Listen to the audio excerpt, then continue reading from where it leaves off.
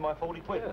So I thought I'd go to Kempton Park this afternoon, Porky. You want to come with? I'll pay all the excess. Yeah, I think Mike, man. Yeah, wait for me for a while, too. I'll come along. He's a changed up. You know, I can't stand these ones that turn up on a Saturday. Then Nanny goes in leather jackets. Scruffy, breeding artists from Chelsea with birds that look like East End halls. Well, what do you expect? It's a Portobello market. Anyway, it's pushing up the price of Siamese back scratches, isn't it? Siamese. Anyway, let's have a Secret drinker, All right, Jimmy, love, can I with the swivel for you? Oh, What? Thank you. Looks as though you've had a good day out there. Don't forget one. Freezing stuck on that stall all day. No, thanks. Here, do you know what an awful lot of cheap to me to Look, darling, why don't you get yourself all dolled up? We're going to a right party. All the chaps will be there. Oh, go away. You stink of onions. Oh, ain't it nice? No. Anyway, I'm not going to no party tonight. I've got to help my mum make up 20 reels by Monday. Go. Oh, no, you go on your own. But if you were a man, you'd have to come out and help. Well, I ain't a man, and I'm going to enjoy myself before I marry you. Here you are then, three point Right, that's all. And here's your three and a kip change. Lovely. Good on you. I don't take those. Come on, Henry, where you been? Oh, I've been up there. He's been hanging about, and he was all Cheers. Cheers, Henry. Cheers, Cocker. That's the queer mob over there. Look after yourself. Ta-ra, then. Don't catch cold. Keith? It's all cobblers. More like four quid wrapped round a toilet roll. that mob's from Hoxton. Been working a three-cart trick in the market. What, what, find a lady? Yeah. Cool, I thought they went went up with Dickens. Not likely. They're half Jamaica around here on a Saturday trying to find a lady. well, that mob don't need any telling where to find the ladies on this map, does it? And the other bar. Now, looking for my friend. I don't give a damn who you're looking for. Round the other bar if you want a drink. I'll give me a drink. Now, look, man, just don't push it. Round. Do you mind? Out. Thank you. Yeah. Yeah. Down the other bar. All right. Ta-ra. I thought there was a colour bar in Notting Hill. Well, it ain't. But I can't serve blacks in this bar. I'd miss all, lose all my respectable customers. Did you say respectable, Jimmy? Right, uh, Lord help us, look who's just blowed in. The wickedest copper in Notting Dale, Mr. One a Day. Now, leave off, Porky. He won't be happy until he's nicked one, and today it could be you. Give us the same. Come again, right. All right, what's it? Now, I told you, mob, to keep up this manner. If I see you on this manner again, I'll do the lot of you for sus. Keep your villainy to Hoxton. With enough villains here as it is. Uh, without immigrants, do you understand? Keep off my manor. What, Governor? What the boss? So you think that's clever, do you? But I ain't done nothing, Gov. I've got my barrow outside. I've just pushed it out the stable with six cases of... Uh, take that smile off your face or I'll wipe it off for you. I should think so. What are you doing, man? Son, get him out of here. You lot get out, no, go. Get out of it, all of you. But I ain't done nothing. I ain't done nothing. You've knocked out the wickedest copper on the manor. He ain't done nothing. I ain't done nothing. What do you think that is? About two ton of pottage down there. You How long did you get? Six months. Uh, two haircuts and a shave and you'll be out. Not worth coming in for. How do you mean? Have you been in before? No. What did you get done for? I ain't done nothing much. I pushed the copper I thought was going to hit me. What's your name? Danny Lee. Where'd you come from? Notting Hill. Any relation to Britannia Lee? Yeah, that's my old lady. Oh, fancy that. And you ain't been in prison before? Oh, you're about the only one of the family that ain't. I know Brit well. Wonder she didn't straighten out the copper for you. She's red hot at that caper. Um, what I wanted to ask you was... Oh, as I was saying, crooked coppers. The public have got no idea what's going on. Now, take me, for instance. I was standing at the bus stop, places Selfridges, Yeah, I know and a woman copper comes up and does me for loitering with intent to pick pockets. A woman, mind you. Yeah. So I says to the magistrate, it's a pity the police don't spend more time trying to find the money for the great train robbery. I was bit there, found half of it, but now I carved it up between them. so they read out my previous. I've done 18 cons for the whiz, ain't I? Have you? Yeah, so the magistrate says to me, you seem to have spent half your life at the bus stop, number 15, waiting to pick people's pockets. It would have been more profitable if you had got a job as a bus conductor. yes, he seemed to think that was funny. Well, it ain't bad, is it? So he says to me, I'm going to give you a chance. You'll go to prison for the month. Uh, how long is it before I can... Yeah, well, it won't be long now. You don't shut up, I'll jam these down your throat, you big mouth mug. Oh, charming. Now shut your trap. Now, son, what have you been trying to ask Big Mouth? Well, how long is it before I can see my girl? She's in the family way and I'm worried about her. Oh, not for a month, son. But tomorrow morning, make an application to the governor for a special visit. Explain the circumstances. You, you might get a special visit. Tell him you was getting married. He's very religious. Thanks, mate. I'll do that. How long do you get? 30 years. 30 stretch. You must be one of the train robbers. Right.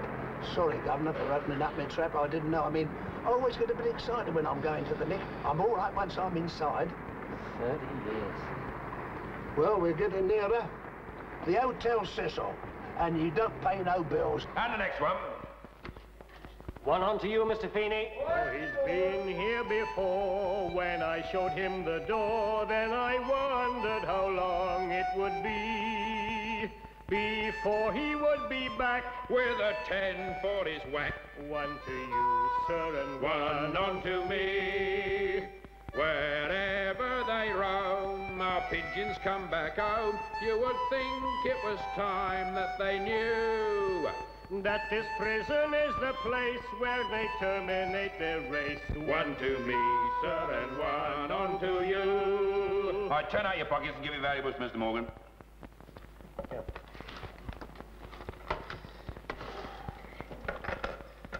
bob, three and a tenner. Four bob, four and a tenner. Right. Come round, sign here for your money and valuables. Four and a tenner, correct? Uh, when you sign, get in there, throw out your clothes and pick up a blanket. Next one. Right, onto the scales. Brook, 240 pounds, Mr. Johnson. Right, Mr. Morgan. I go through that door, get into the bar. One on to you, Mr. Feeney. Name, Danny Leaker. sentence, Six months, Gov. previous convictions, None, Gov. offence. Sort on a copper, Gov. Tough guy, eh? No, Gov, I was pushing my barrow along the market like, and a copper pushed me, so I put one on him. They pushed me in here, and I'll be pushing out in six months. Well, don't try putting in one on anyone- anybody in here, me old cock sparrow, or your own mother won't recognise you. Pusher Lee. Oh, yeah. Date of birth? Uh, seventh for the second, 1940, Gov. Married or single? Single, Gov. Occupation? Street trader. Maguire, 148 pounds, Mr. Johnson. Right, Mr. Morgan. One on to you, Mr. Feeney. Religion? I'll see, Gov. Right, turn out your pockets, give your valuables, Mr. Morgan. And the next.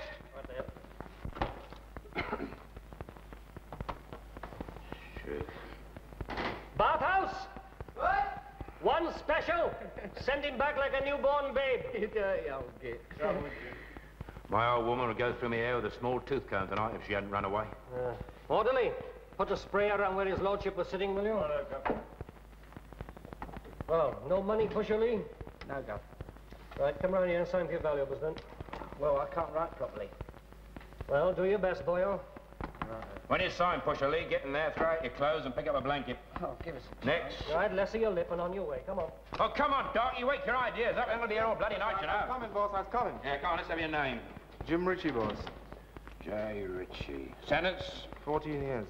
Blimey, Doughty. You going for big ones? Yes, sir. Fella steals my wife, and I shot him right here. But I was innocent, boss. Really, I never make no harm. Come on, Pusher You're lucky if they you're didn't put a rope it round your neck. All right, I'll come off a jiffy. Previous conviction. Six. Date of birth? I don't know, Chief. You know, it's a long time. Well, I'll put you down at 35. Occupation? Film extra, boss. Well, you'll be able to join the drama class when you get down to Moore. Lee, 168 pounds, Mr. Johnson. Right, Mr. One on to you, Mr. Feeney. Right. Religion? I don't know, boss. You know, if Look, you've got to have a religion. Take one. Hmm, That's interesting. If you're taking a red one, you'll be an RC. White one, well, that's C of E. The blue one's for the Jews. Jew. So, from now on, you are a Jew. Who's looking after the shop, then? Here, just a minute, Izzy. Married or single? Single. Here, look. You just said a fella stole your wife and you shot him. So how can you be single? Why, I'm single now. All on my own for 14 goddamn years. All right, turn out your pockets and give your valuables to Mr. Morgan. Right. Money? Uh, five bob. Right, come and sign that. I can't write, Chief. Well, put a cross then. When you sign, Doc, you get in there, throw out your clothes and pick up a blanket. Right, next one. Right, on your way, on your way. In the army, old Chop Johnson? One travelling coat. Mike Carney. Right, I'm up from Dartmoor from your visit. Yeah, you've got a thinner, lad. I never recognised you sitting down there. Was it 12 years since you went down the moor? That's right. How you getting on? Up and down, Tom, up and down. You know the trouble? It's hard to keep out of bother on the moor. Jesus Christ himself couldn't do that. Hey, Mr. Morgan, you remember I told you the one and only time I was on condemned cell duty? Yeah. About the prisoner who- who was reprieved the night before he was due to be topped? Yes, I remember. Well, here he is. Now you done 12 years, eh? Yeah, I was reading in the papers the other day how you was the only lifer left on the moor. That's right. One's gone back to the island, the other's got a special after nine years. Have they fixed the date for your release yet? Now go, worse luck. Oh, never mind, lad. You could be worse off, you know. Yeah, we had one fella come into the condemned cell today. I think he'll hang. Ross, his name, do you know him? Yeah, I've been following this case. He done a five on the moor when I started my life. Well, lad, you must be tired. You had any dinner? One on to you, Mr. Not Feeney. Bathhouse. Since you seen London after all these years, fair broke me heart travelling up here from Waterloo. Fish and chip shops, newspaper boys. We passed the pub, they were singing and dancing. Silly, I was glad to get in here. Could do with a nice cup of tea, though. Orderly, get him a pint of tea and put some sugar in it. I don't care where you get it from. As soon as said than done, Cut. Hey, look, lad, you sit down. I bet you're on the chief's office about you. I'm Mr. Morgan. You get the details on that tramp. Aye.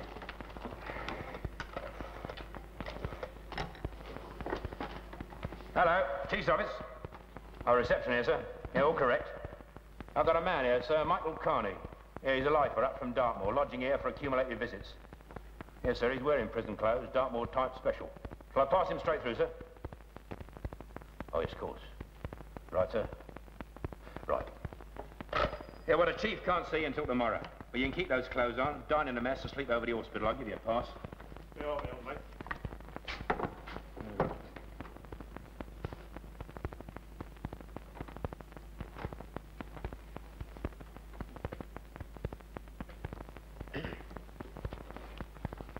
Ah. You're all right for snout, then? Yes, go on. I've an old leg now and I know the ropes. Uh, Mr. Morgan, we'll have those receptions back from the bathhouse, if you please. How you been getting on then, Gov? I've had a bit of bad luck, lad. The old woman ran away. No. I've been together for 15 years. I don't know why. I never thumped her or nothing. Still, she might come back. Corner house, come on. Come on. All right, you lot. Line up over there. Right. Well, the doctor will see you lot first thing tomorrow morning. Any complaints? All right, no complaints. Yeah, you, Rothschild. You come in here a dirty old tramp. Look at you now. Clean and handsome. So keep it that way while you're in here. Right, you'll get your clothes at the Park Warren stores. Okay, Carney. I'll take you. Look after yourself, then. Right, lead on, single file. And stop your yapping.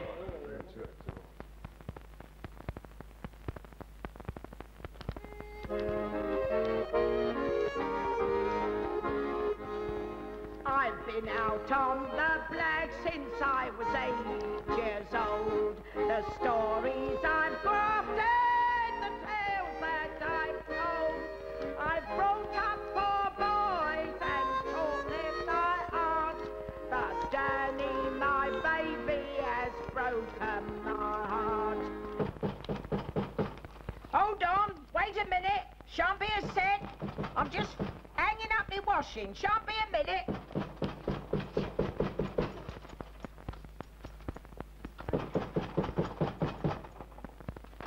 Come on. I thought I told you boys not to come round here with stuff in the daylight.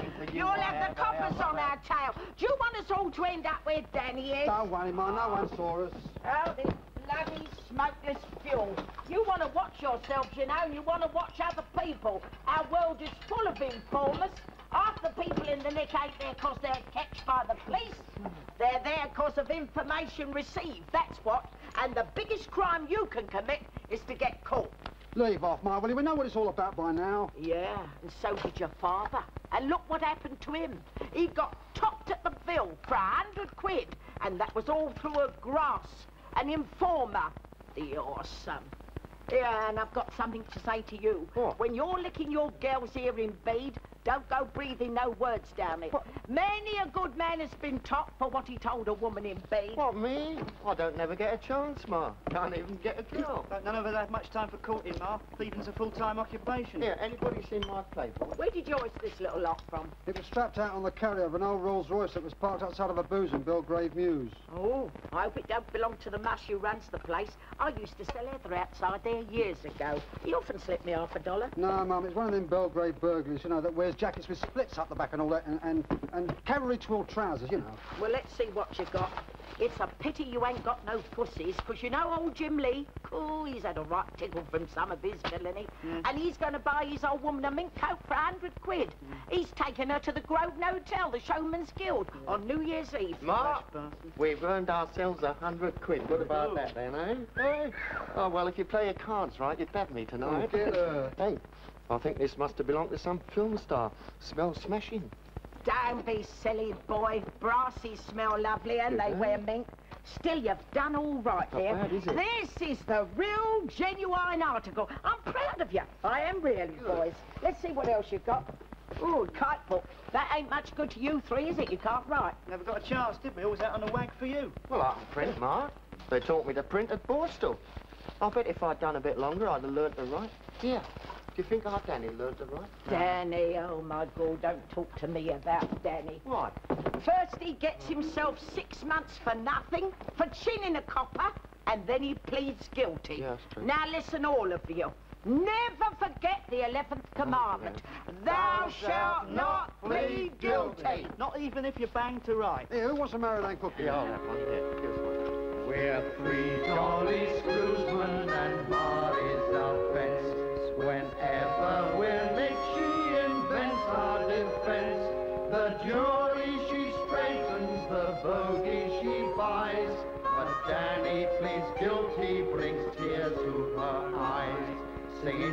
'em up, trim 'em up, dump 'em up, boys. Oh, we'll do 'em up, trim 'em up, dump 'em up, boys. Now, I am a burglar as good as they come. And I am a creeple, turn over a drum. I am a hoister, so nimble and smart.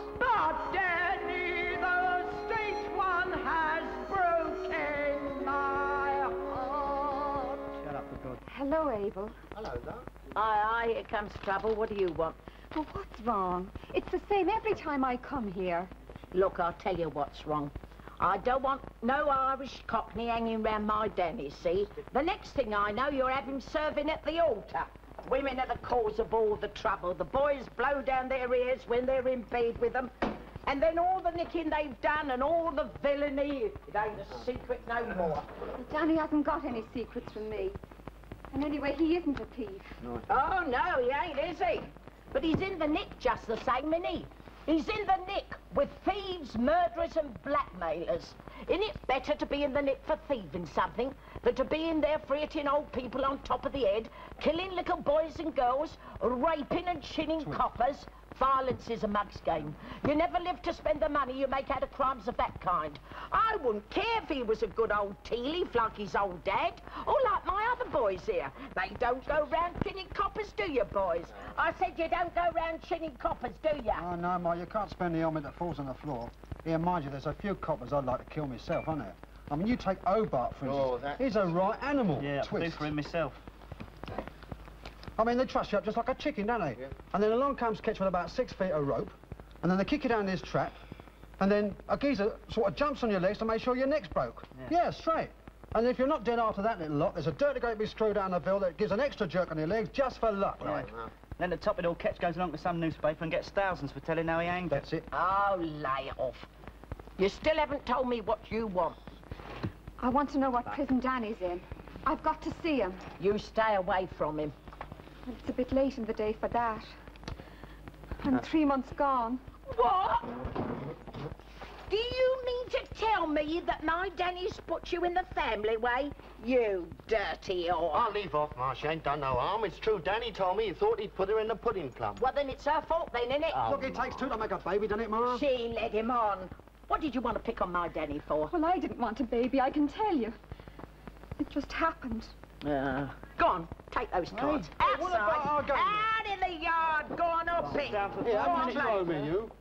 You take that crap you're reading and get outside, Oh, too. but it's cold out there, Go on, get out when I tell you. I Hobbit. wouldn't listen. Go on. Now listen, I'm going to ask you something, and I want you to speak the truth.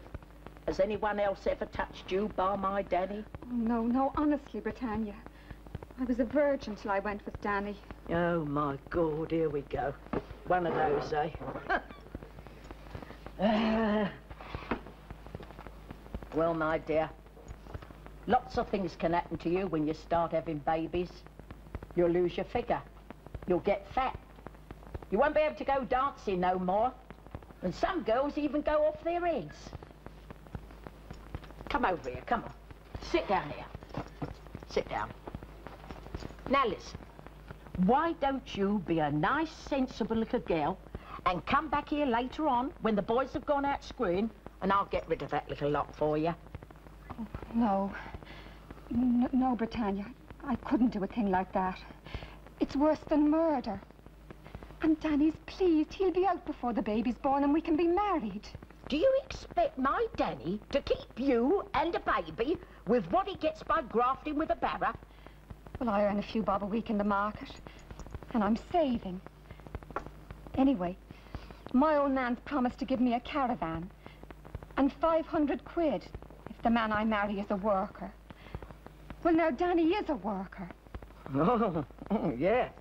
Yes, I'll admit that. He's a worker, all right. Why, remember when he was just a little kid, he used to sit up half the night making clothes pegs with his little knife. All right, cock. Now listen.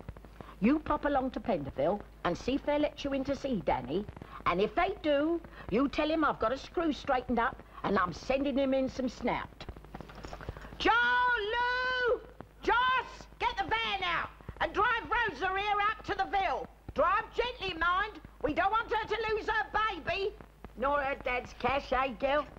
Sit there and I'll make you a nice cup of tea.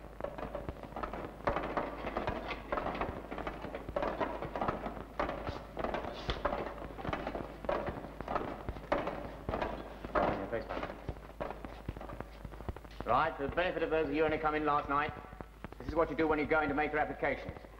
Stand on the mat, six feet in front of the governor's desk, give your name and number, make your application, right? Answer to your names and numbers. 659 Winters. Sir. 389 Cook. Sir. 427 Lee. Right. Right what? Right. When you address me, you call me sir. Understand? Unless you want bread and water. Sir, sir, sir. Got it? Right. 618 Jenkins. Sir, Sir. What do you want? can I fall out for a slash? No, you can't. This ain't a public convenience. But I'm bursting. Too bad. Four men all correct, sir? Hey, you missed a bit out there. It's got to have another coat, sir. Right, Chief, let's back in.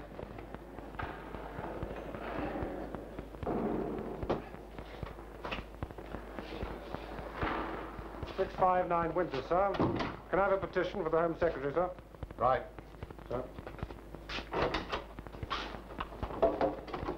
Next applicant. One on to you, sir. 389 Cook. Can I have a special letter to my wife, sir? I have heard from the last one. No, you can't. Have an inquiry form. Right. Which you don't understand, sir. I'm getting worried about her. I have no... Get out. Yes, sir. Next applicant. One on to you, sir. Uh, 427 Lee. Sir, can I have a special visit from girl? What's so special about your girl? Well, she's in a family way and I'm worried about her. Well, if you're so concerned about her welfare, why didn't you marry her in the first place? Well, we were saving up to get married, then this happened. I've got six months for nothing. You'll get a visit in 30 days or not before, right? Sir, her father might sling her out. So what? Well, she might commit suicide. Oh, I'm sick and tired of listening to all this twaddle. Out! But, sir, you've got to let me see her. I've got to, have I? I told you to get out. Out. Chief, ah. put this man on report for disobeying an order and take him down below. You bastard old retired prop! That's what you are! I to! I to! Next applicant.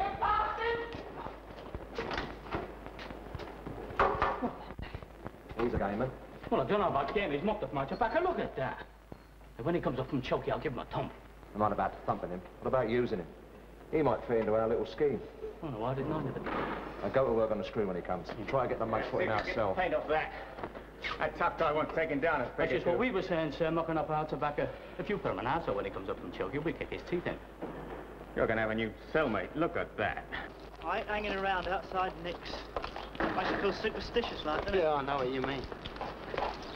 I always get the feeling if you go and visit someone, you end up walking around on a remand yourself. Yeah, I knew a fella once. Oh, Go on. no, he knew a fella. Hang on, Barbara, yeah. I knew a fella once who said ta to his old woman. I'll be home just after five, he says. He was home after five, all right. Five years in a nick. Go on. Yeah, do you know what happened? I'll tell you. He come here to visit one of his mates, see? And when he come out, the cop was nicked him, didn't they? One of the screws inside had been earwigging, and he got his collar felt. Charming. all right. Mother's got the geezer straightened, eating from her handle threatened. Mother's got the geezer straightened, she will never let a chance go by. I done a stretch in Pentonville, some other bought a screw. She gave him ten a week and told him all he got to do. The Hilton couldn't ever beat the service that he gave. He brought the papers every day and old spots for me shave. So mother's got the geezer straightened, eating from her handle threatened. Mother's got the geezer straightened, she will never let a chance go by. Hey, Rosa, did you see him then? No. Why not? He said he was down in the punishment cells and couldn't have no visits. Oh, blimey, our Danny ain't up a mug, ain't he? First he gets himself nicked for nothing, then he can't even keep his nose clean while he's inside, can he? Yeah.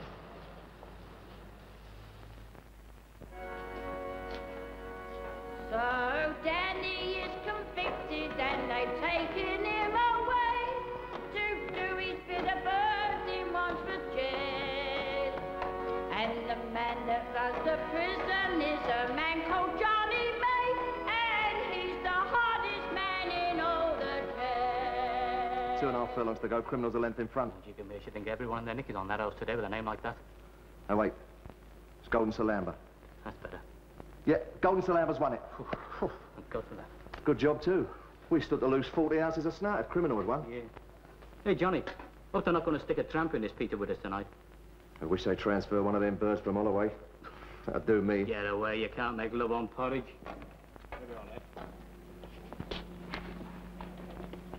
Hello, hello. Getting all serious like you blokes make me laugh.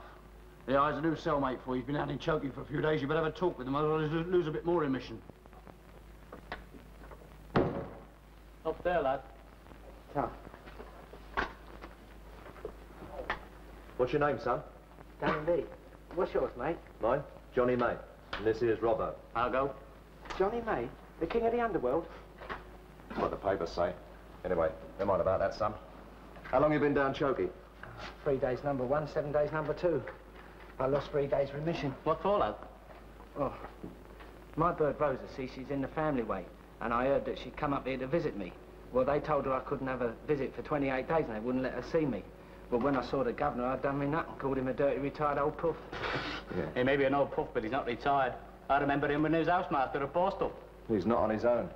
I could tell you about a few tearaways who was pups. I caught a chiv merchant bank the rights in his Peter one day. Anyway, son, why don't you write the old girl? Cheer her up. I'm not very good at reading or writing. Well, what'd you do down the punishment cells then if you can't read? Nothing. I only thought of my Rosa all the time. I'm dead worried about her, what with her being in the family way and all. She ain't got no money, and I think her old man will kick her out. Yeah, son, have a smoke. Ta. You mentioned money just now. Have you ever had two grand? Two thousand quid? Me? Twenty pound weight of chestnuts about all I've ever had. What's the most money you've ever made, son? Um, twelve quid. Grafting the barrel on election day. Twelve quid, eh? It's a diabolical liberty, you know. It's not fair. Some have plenty and some have nothing. What are you in for, son? Salt on the copper. What you get? Six months. Six months, eh? For nothing. You want to have material gain if you're going to come in here, son. Don't never come in for nothing. Yeah, that's it. Material gain, that's it. Material gain. You gotta make crime pay. But Johnny and me, eh? I mean, we done a few laggings, but we got thousands stashed away. We've been to Cannes and Nice. Nice. We don't ever mess about, you know. We stay in all the best places. The Carlton, Martinez. Well, Johnny has got a yacht tied up at the moment. Looks like a big cabin cruiser, yeah. All the crew on half pay. We're doing birth for something. Yeah, but I ain't no thief. I've never stole nothing in my life. Well, it's about time you started it. I mean, it's not new in this game to do birth for nothing, you know, and the greatest crime is to get catched. It's funny you should say that. My ma always says that. Your ma? Why, who's your ma? What's your ma's name? They call her Britty. Britty Lee. Britty Lee? I know Britty Lee. Is that your ma? Yeah. She buys a bit of gear off all the oysters. Yeah, that's right. So you're Oh, Britty well, Lee's you know, boy, eh? Well, of course I can tell now. On. Here. Now, fancy a boy of Britty Lee doing half a stretch for nothing. Yeah. I bet she's choked. I'll bet she is. Double choked. She ain't too pleased. Do you realise that if you'd have been working with us, you'd have had a few thousand quid for doing six months? Wouldn't you do six months for two thousand quid? I don't know. You don't. Tell us, what would you do if you had two thousand quid? Well, what would I do now? Well, I'd get rid of me barrow for a start. Then I think I'd buy myself a lorry and a caravan. Then in the summer, me and Rosa could graft all the fairs and the markets. Then in the winter, maybe we could get a stall down Portobello Market or go coaling. Six months, That's you'd serve four. That's five hundred pound a month. That's hundred and twenty-five pound a week. That's more than some of them film stars get. Yeah, film stars money. That time when you're not in prison, you're working like. You've got to look at it like a job of work for 125 nick a week. Why, Johnny and I worked out our wages last night, and we've earned more a week this year than the Lord Chief Justice. Yeah, all right, Bob, just a minute. Let's get down to brass tacks. Now, look, Danny, I want to talk to you. Now, you know all about me. You know I'm a man of my word, right? Now, you've heard all about honour amongst thieves, haven't you, son? Yeah. Yeah. Well, that's all cobblers. There's no honour amongst thieves.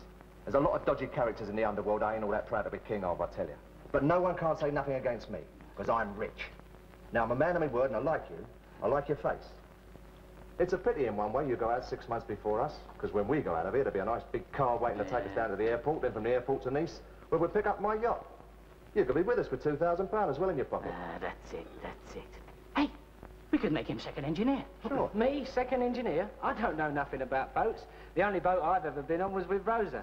It was called the Jason's Trip from Little Venice to Regent's Park, an old converted timber barge. second engineer. You don't think we could make you a second engineer? Well, let me tell you a little story. Oh, Johnny and I had a right ticket once. We had 45 grand for our whack. Oh. What are you doing, son? Well, I want to... What's the matter, you shy? Any road, we decided to become honest, go out to Tangier and do a bit of smuggling like. Now, Johnny bought a boat at Weymouth, then we had to find a crew. Are you listening to me? Yeah, go on. Now, the first engineer had 17 convictions for screwing, and the only boat he'd been on was the ferry from Southampton to Parkhurst, Isle of Wight. hey, and that's not all. What about the captain, eh, Johnny? The captain. He'd learned the art of navigation out of a magazine called Yachting Monthly. so I think we could make a second engineer out of you. Yeah, it is true on that occasion they slung us out of Tangier. Bloody cheek. Mind you, we're not going to do nothing crooked this time. Nah. This time we're going to take a nice, quiet cruise round the Mediterranean to relax like. Yeah. We'll have four or five nice little darlings on board. Yeah, it's a great life if you don't get catched. Would you like to be with us? Could have a nice little light-eyed girl with all the proper accoutrements. No, I think I'd rather be with Rosa on the Jason's Trip. But your Rosa could come with us, couldn't you, Johnny? Yeah, yeah, of course she could. Would you like that, Danny? Yeah. Don't you think it'd be worth serving another four months in prison for? With two grand in readies when you go out the same time as us? Let me ask you a straight question, son. Wouldn't you do four months in prison for the, to get some money? For the sake of your baby? She's having a baby, isn't she? Yeah. I suppose I would, but what's the use of talking? I'll never have 2,000 quid as long as I live. I wasn't ever meant to have that kind of money. That's where you're wrong, son. Anyone was meant to have that kind of money, if they want it bad enough. Now, you look like a man of taste to me. I bet your Rosa looked lovely in a nice mink coat. Yeah, great. Well, anyway, you said you would. I would what? Would do four months in prison for 2,000 quid and a trip on my yacht. yeah, but how do I do it? How do you do it? You see, son, the whole secret of crime is straightening people. Straightening. Before, while, and after action. The straightening irons, like. Look, lad, you see all the snouts in that there pouch? Well, that costs money. It's brought in by a bent screw. Straightened, you see. Yeah, all right. Look, you see, Danny, at a weekend, like all British institutions, crisis or no crisis, war or no war, this jail is only half staffed. Now, the last thing they do every night is they come round two-handed to slop out. Now, Sunday night's only one screw comes round, and that'll be our screw, our bent screw. Now, when he asks you to slop out, what we want you to do, now listen carefully, is hit him on top of the head with a leg of that chair. Not too hard. Then me and Robbo here jump on your back and save the gallant prison officer's life. Now, for that, I'll give you £2,000. And the screw gets a monkey.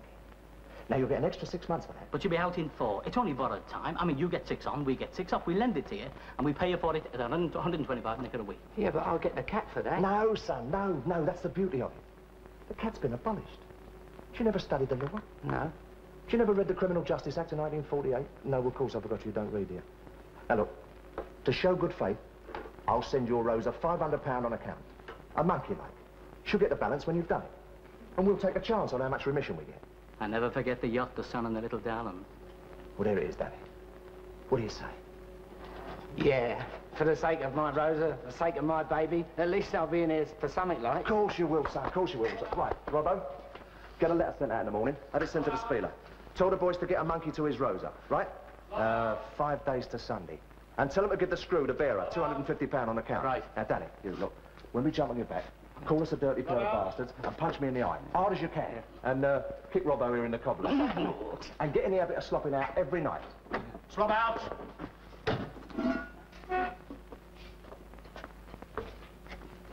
Hey, well, Johnny, we found out there was a right steamer, a rail mug. But why did you tell him the cat was abolished? You can still get the cat for doing a screw. Ah, that mug won't know. He can't read. Knitter. Oh,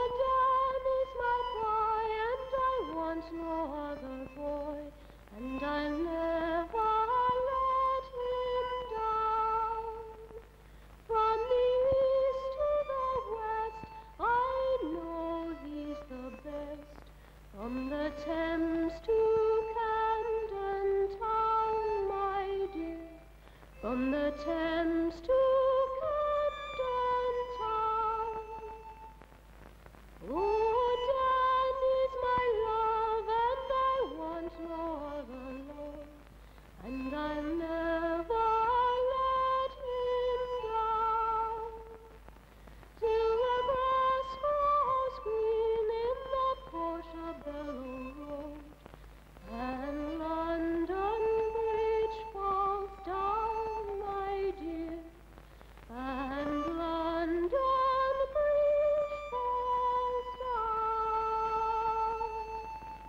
600 pound in the middle. Yeah.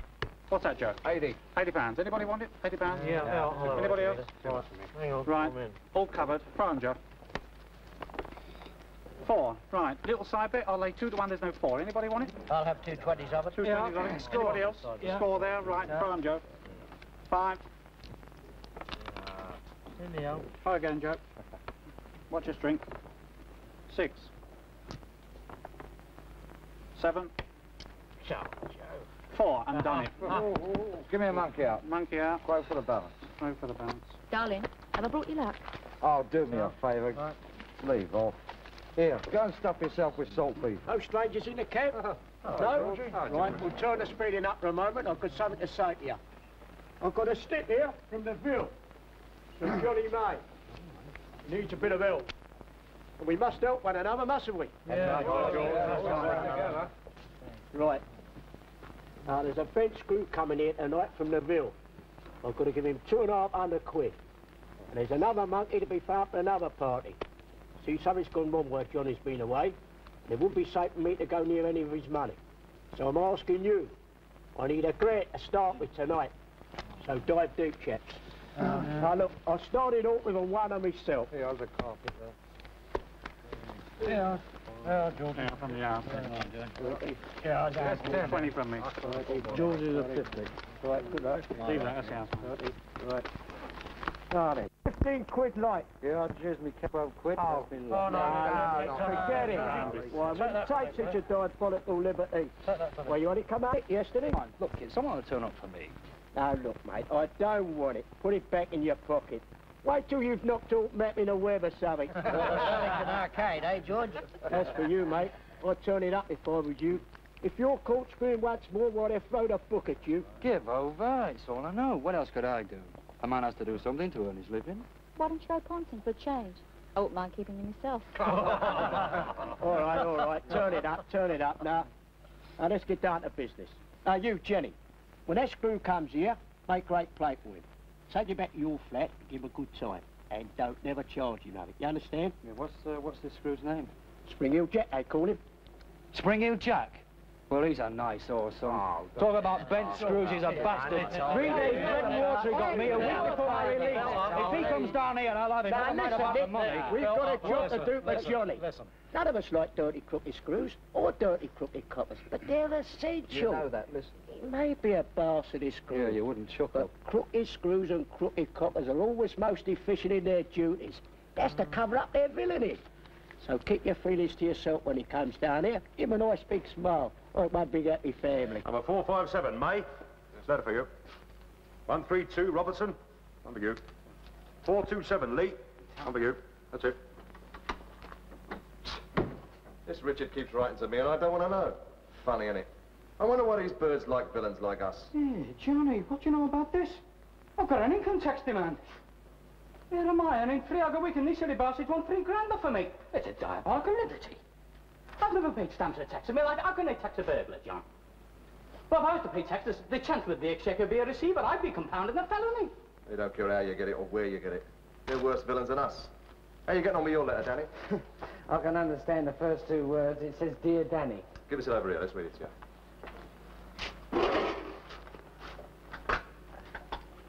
Dear Danny, I'm ticking off the days as they go by.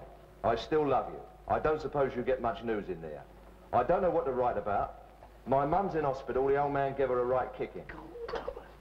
Abel got chucked at the Old Bailey. Doris from next door has run off with a black man. I hope I can visit you soon. I'm writing this during my dinner hour. I'm working in a flower shop. I'm sorry it's short. I've got to get back. Must close now. Lots and lots of love from Rosa. P.S. Since I started this letter, a man called Little George came in the shop and gave me some money he says he owes you. He says he'll pay the rest later on. He says for me to tell you. Good, they are. Now the chaps have done their part. They've bunged your Rosa a monkey, right? Why don't we do it tonight while our man's on? Yeah. Otherwise we'll have to wait till next Sunday. One certainty's fixed in this life. Each son breaks the heart of his mother. Each husband will lie to his wife. And brother will strangle his brother. But life has its own compensations. Rascal that money can bring. For a yacht in the harbor at Capri very soon draws out that sting.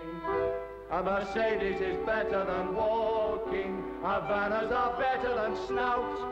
And the birds on the beach at Alaska are calling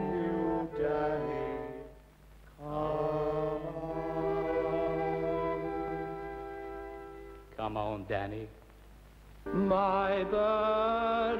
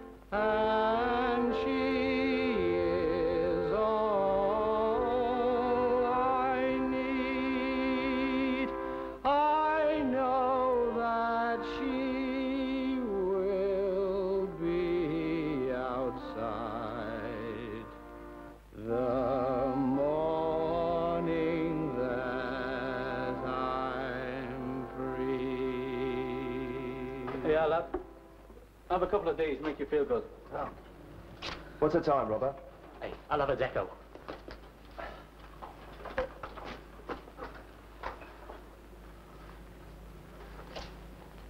How can he tell the time looking out there? Well, dead on eight o'clock every night, there's a bird over there gets undressed.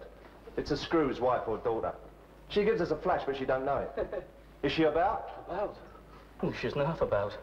Jigger me, she hasn't half got some form. God. Hey, get on the Bristols. Yeah, never mind about that. We'll have enough time to think about that when we get out of here. Right, Arthur! Right, George! In a few minutes, the screw will be round slobbing out. Robbo, we won't use the leg of the chair. Ask Joe for the cosh. Hey, Joe. Send down the line. Put old Bill on it.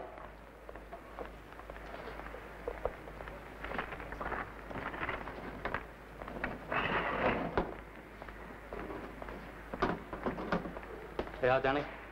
Old Bill. Hey, when you get out in the morning, don't forget to go and see my old woman! Okay, mate. He'll see his old woman all right. She's a right tartar. I wonder who's sleeping in my bed tonight. Listen to that mug. He could, his old woman couldn't sleep straight in her bed. Never mind, be straight to it. Cut the bunny, you'll be here in a minute. Go on, son, get your pot.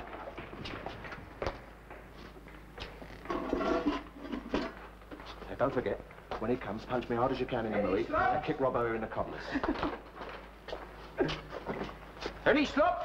Hey! Here, Lively! Hey! Quick up here! D2's! D2's up here! Oh, quick! What's the Lively? What's the He's done. I think he's done his stuff. Get him out! So I'm here with that cuss.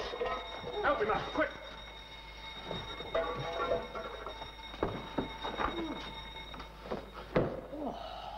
Come on, Lively, get up off the floor. You're all right.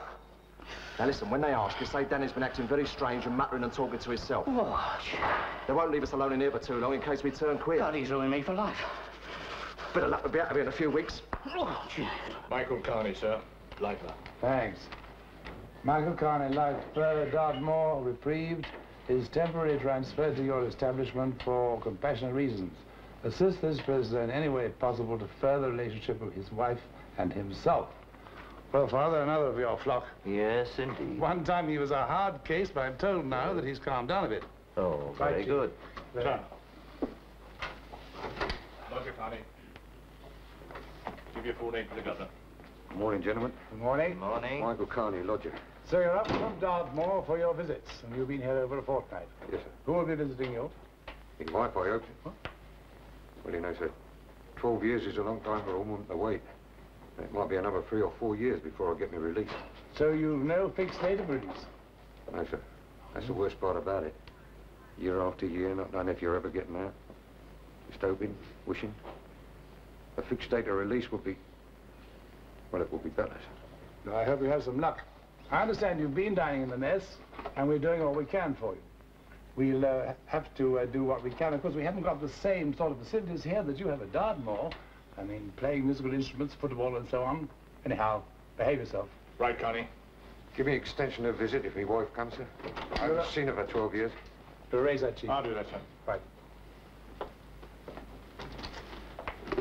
I'll run along, Governor, if I may. I'd like a few words with Carney in his cell. Right, sharp, Father. Send in the first applicant, Chief. Right, sir. First applicant. Give your full name and number to the governor. Five double eight, Anthony Hobbs, sir. Yes, Hobbs? Well, sir, Moss and White indeed D1 mess have been trafficking, sir. And Officer Hill, we're bringing in a parcel of tobacco for them in the morning, sir. I must warn you that if this accusation against Officer Hill proves to be false, you'll be liable for punishment. You still persist in it? Yes, sir. Right, Hobbs? Outside Hobbs. Chief, have Moss and White searched before they go to the mess. Have Officer Hill searched when he comes on duty. Right, sir. Right. Next applicant. Give your full name and number to the governor. Number 163, Samuel David Goldstein, sir. Yes, Goldstein? Sir, I want protection from the Hoxton gang, sir. What for? They're going to use a razor on me, sir. What for? You see, uh, they think I cheated them out of £2,000 worth of furs and then gave them away to the police before they was paid, sir. But I didn't. I didn't do it, sir. Right, Goldstein. Chief, see to this. Yes, sir. All right, Goldstein. Yes, sir. Yes, sir.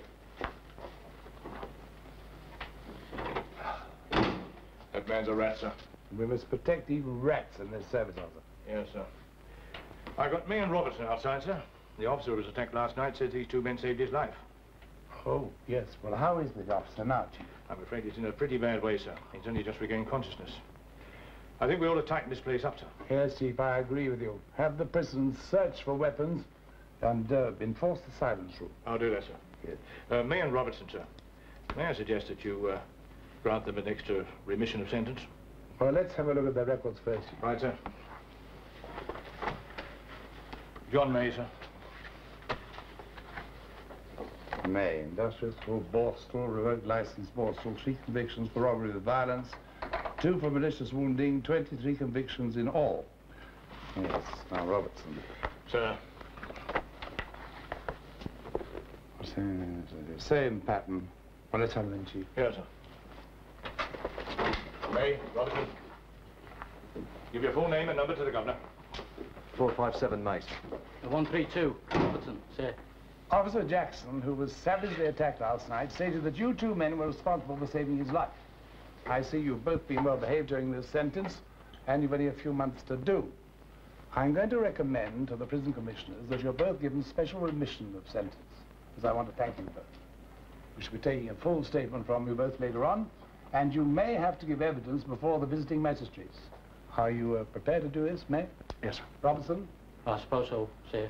Right, now go back to your work until I send for you.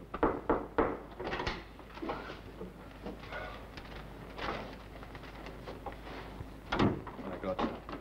What is it, Chief?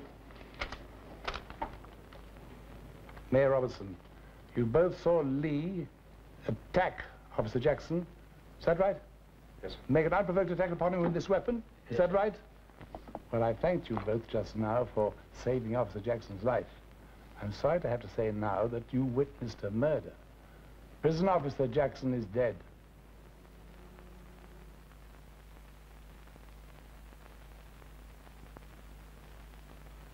Now Danny is in hospital in Brixton waiting strong with Silent Sam the gangster on his right.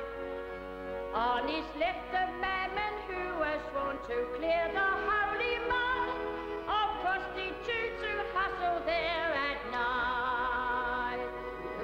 Uh, nah, Silent Sam's got one. That lousy bastard wouldn't give you the time. Thinks because he shot a fella in a club and his mob's got plenty of money, he's got a superiority complex. Thinks I'm a mug because I strangled a whore. But if she gave him what she gave me, he'd have strangled her as well. So think I cost me two quid for a dose of the pox. Sorry, no, he didn't strangle a few more, like Jack the Ripper. Silent Sam! You're going to swing right on the end of a bloody great piece of string. Oh, and oh. knackers, knackers. All world's a lot of knackers. And you'll all finish up in the knackers yard. I killed a whore in Kensal Town, hullabaloo She picked me up and I struck her down, hullabaloo Hullabaloo for overcharging me half a crown, hullabaloo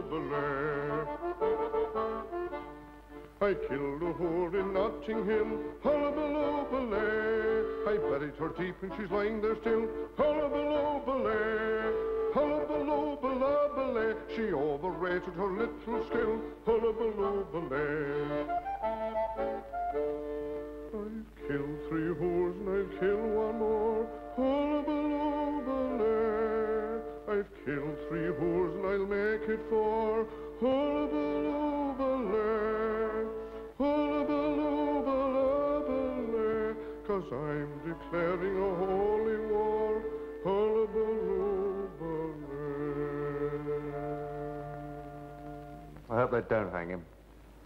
is a matter of the march here. He ought to be in Broadmoor, really. Yeah, and the sooner the better. Couldn't sleep last night with his raving. Yeah, that's right.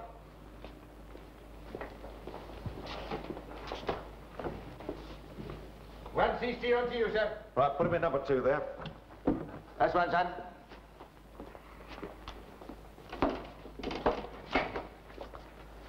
Take off the tie, son. Give it here. Give us your shoelaces. Shoelaces? What's it all about? My shoes are flop about. Give us your laces.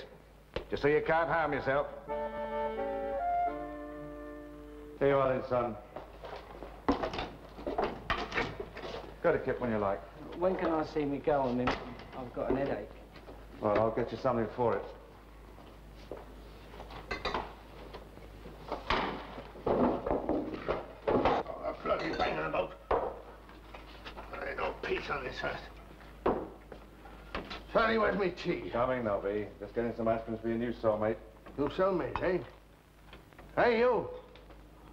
What's your name? Lee. Danny Lee. You're the one that killed the screw. I didn't ever mean to. Have you got any snout? Yeah, hang on. I'll sling some across. Right. Thanks, pal.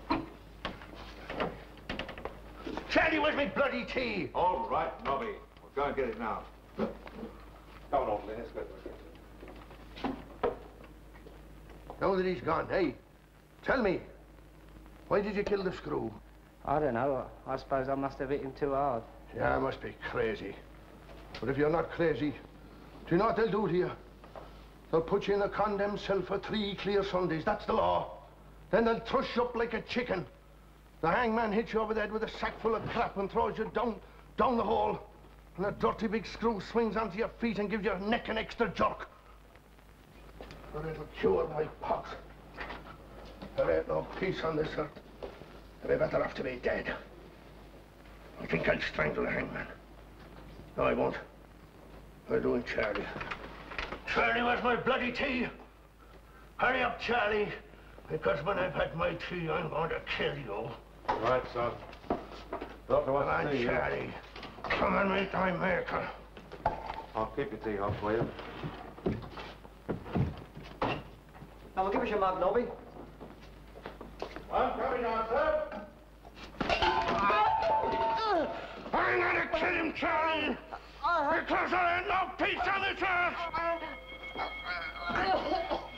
Come on, the double. Right, take it easy, take it easy. Steady. There you are. Here, it's coming up first thing after lunch, number one court. More scheming. Oh, a proper mug is our Denny. First he gets himself off a stretch for nothing. Now he's up on a murder charge. My own flesh and blood. Yeah, yeah, see that little bloke just got that one with glasses on, gone round the corner. Well, he's awaiting jury, and he's on our Danny's jury. I've been on his tail. Well, boys, I've got to do something. He's one of our own, you know. Sink or swim, even if I get my collar felt, I've got to help my daddy. Listen, Ma, we don't want you in the nick and all. Here, Ma, let me have a go at the keys. I'll straighten them out. No, no. You leave this to me. I'll do it my own way. You'll only mess it up. You smug me up. Come on, I've got to get rid of this stuff. Here, put those pussies away. You take my drawings, John.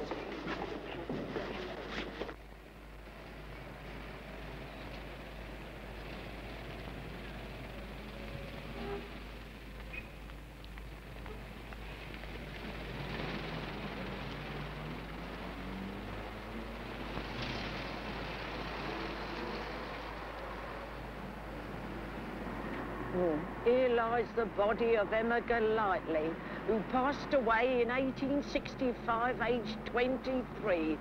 Cool, she must have been rich to have a lovely gravestone like that. Eh, sir? I wonder. She might have been a beautiful actress, not just been the daughter of a cabinet maker. Death's a funny thing, ain't it, sir? It ain't no respecter of class. Of course, it do depend how you die. Now, my Bert, my old man, he's dying of cancer, and he's worked so hard all his life. I'm sorry. Would you mind if I sat down beside you, sir? It's me knees, you see. I've got arthritis. I'm a cleaner, you see, sir, round the corner at St Bart's Hospital. And of course I'm kneeling all day, and that don't help. This is me lunch hour. Have an apple. No, thank you. It's me tea. They're new and they ain't settled in yet. Well, as I was saying, we never think of death, do we, sir? Not till it strikes our own. Now, my Bert, he's worked so hard as a cabinet maker all his life. Cabinet maker, eh? I'm a cabinet maker. Look, fancy that. Ain't it a small world? Have you got any children, sir? No. Wish I had. Not even married. 45 and still a bachelor. No one loves me. Oh, don't be silly. Your mother loves you. Oh, yeah, she... Oh, there's nothing like a mother's love, and she's always there to look after you. Yeah, I suppose you're right. She gets me sandwiches, makes sure I have two apples, gets me up for work at six, sees me I go out every day. She thinks I've gone to work today. She doesn't know I've got to go across there on a jury at two o'clock. She's 78. I don't upset her. She's against these hangings, and I think she's right. Oh, I'm sure she is, sir. I'm sure she is. But if you ain't sure, there's only one thing you can do. What's that? You must talk the jury into finding your man not guilty. Barbara's got the geese straightened, eating from her ankle threatened. You see that figure up there, holding what they call the scales of justice? What? They're the actual scales of justice. And do you know what she'd say if she could speak? She'd ask for the inspector of weights and measures. Them weights are very dodgy, sir. Barbara's got the geese straightened, she will never let a chance go by. Are you Daniel Lee? Yes, Gov. Daniel Lee, you are charged with capital murder. The particulars being that you, on the 13th day of 1965 in the county of London, murdered Arthur Jackson, he being a prison officer acting in the course of his duty. Do you plead guilty or not guilty? Well, I- I'm guilty in a way. but you see, it's not as simple as that. I didn't mean to kill him. Are you then pleading not guilty? No, I done it. But it wasn't murder. You see, there, there was these two fellas. And, and Are they... you admitting that you struck Mr. Jackson? Yes, Gov. And when you struck Mr. Jackson, what did you mean to do to him? I wanted to do him up a bit. By that, I presume that you mean that you intended to injure him. Lay down that where the killer has inflicted grievous bodily harm on his victim by a voluntary act which causes the death of the victim, and which was intended to cause grievous bodily harm, and there exists implied malice which constitutes malice aforethought, and which accordingly renders a killing murder. My lord, yes. He's told me repeatedly that he has no desire to deceive the court by telling lies, and that accordingly he wishes to plead guilty. I have explained to him the full implications in such a plea. Only one sentence in this case, that you suffer death in the manner authorized by law. So be it.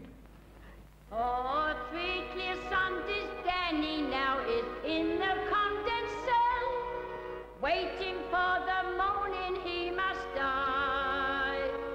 He counts the hours passing by the tolling of the bell, and before him sees the grave where he will lie. I'm very happy to see you again, Dad. Would you mind? Yes, Father. Thank you very much. Well, Danny, how are you? Well, Father, I don't really know. I- wanted to see you because I'm so worried about Rosa. Yes? She's having the baby soon. Well, my old mum don't like her much and the screws in here are a lot of mugs. I, I uh-huh. wanted you to help. Well, is she a Catholic? Yes, Father. Well, were you going to marry her in the Catholic Church? Well, Father, we hadn't really thought about anything like that. You mm. see, none of us had much schooling, and my old mum didn't think much of it, and I never thought much about it myself until now. Yes. Well, most people, Danny, turn to God dur- during suffering. Now, have you received the sacrament recently? It's ten years, Father. I- I've not been to confession or communion Mm-hmm. since I was a little kid. Well, would you like me to come and say Mass in here tomorrow morning? Would you like to make a good confession for me now? Oh, I'd like to, Father, but I can't remember what to say. I've forgotten the words. I've never been confirmed like. Uh, I've committed a lot of sins. Uh, it'd take too long. Don't worry about that now. That's nothing. I'll help you. Come now and confess to me. All right, Father. I think I can remember the first bit. Good. Yes, Bless me, Father. yes. For I have sinned. Yes, that's it. Yes. I, Yes. I, uh, Yes. uh, sit, sit, sit, sit up, Danny. Sit, sit, sit, sit, sit up. Now, take your time. There's no hurry. Is that all right, Father? Yes, of course it is. Now, tell me everything you can remember doing wrong. Well, I've always been getting into fights all my life. I've been in fights since I was 14. I've given Abel a black eye, and I've been with my Rosa and wasn't ever married. I've told a lot of lies. Oh, I'm a terrible villain, really, Father. God will never forgive me. I'll finish up in hell, won't I? No, no, you won't, Danny. Unless you die with mortal sin on your soul. Now, tell me all about this murder you are charged with. Don't be afraid. You see, you've left it out. No, Father, I haven't left nothing out. I know you won't believe me, but I never meant that screw no harm. He was in it anyway. It, it was supposed to be a sort of pantomime like, you see? Yeah, I see, I see. Uh, but, Danny, you know that whatever you say to me in confession will remain a secret. I shall never tell anyone. I shall forget it myself. You know that. You believe in me, Danny, don't you? And you believe in God. Yes, Father, but I never meant You still say you didn't mean him any harm.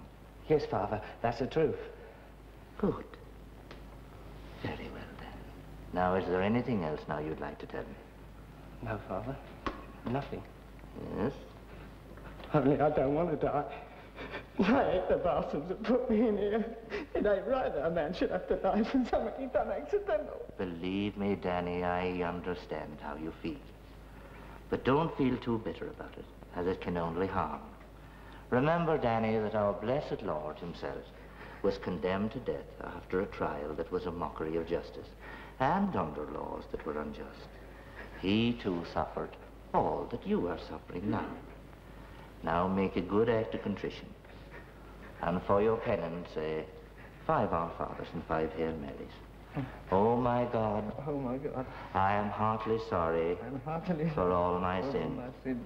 because they deserve thy dreadful punishment, because they have crucified my loving Saviour, Saviour, Jesus Christ, but most of all because they offend thy infinite goodness. And I firmly resolve, with the hope of thy grace, to offend thee no more, and carefully to avoid the occasions of sin. Good. Now, miseriata tuus omnipotens Deus et omittis peccatus tuus, perducat te ad vitam aeternam. Amen. In nomine Patri et Filii Spiritus Sancti. God bless you, Danny. Well now, Danny, I hope you feel better. Have you, have you got your rosary? Have you, have you got your rosary, your rosary beads? Uh, no, Father, I lost them when I was a kid. Oh, well then you better take mine. There you are. Oh, thank you, Father. I shall ask the bishop to come and confirm them. And tomorrow morning I shall be here myself at seven to say mass. So, Danny, keep your heart up. And goodbye till then. Goodbye, Father.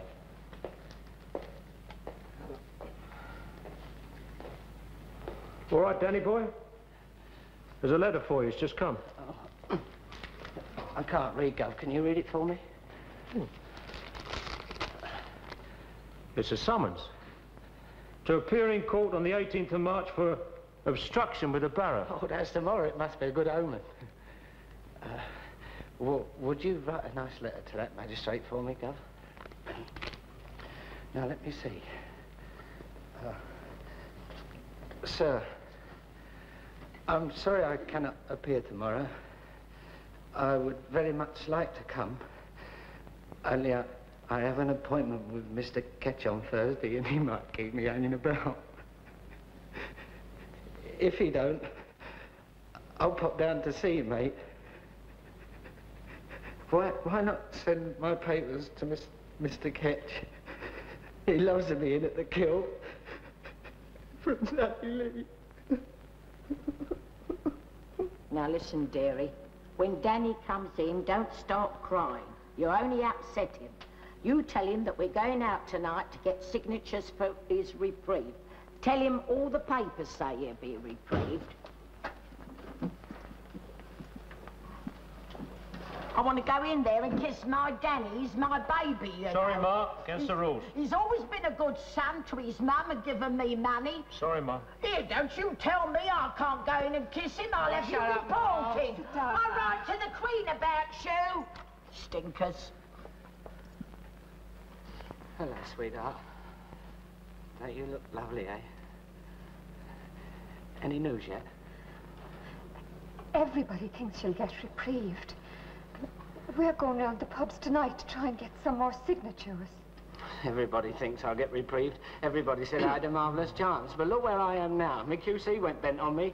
I don't think he was even trying. They tell me he went to school with a prosecutor. You've been eating all right, son. You look a bit thin to me. I was only saying to your Aunt Lil yesterday. I said I do hope they give my Danny plenty of bread pudding and faggots, 'cause he do like his bread pudding and faggots. No, Mum, I've lost my appetite. I don't fancy nothing anyway. But don't worry. How's Lou, Joss and Abel? Oh, they're lovely, they are. They've taken your Aunt Lil to the hospital. She's going to be scraped again. Though what a woman of her age wants to keep having babies for, I'll never know. It's a terrible operation, you know. Ooh, I remember when I was scraped. It was just before you was born.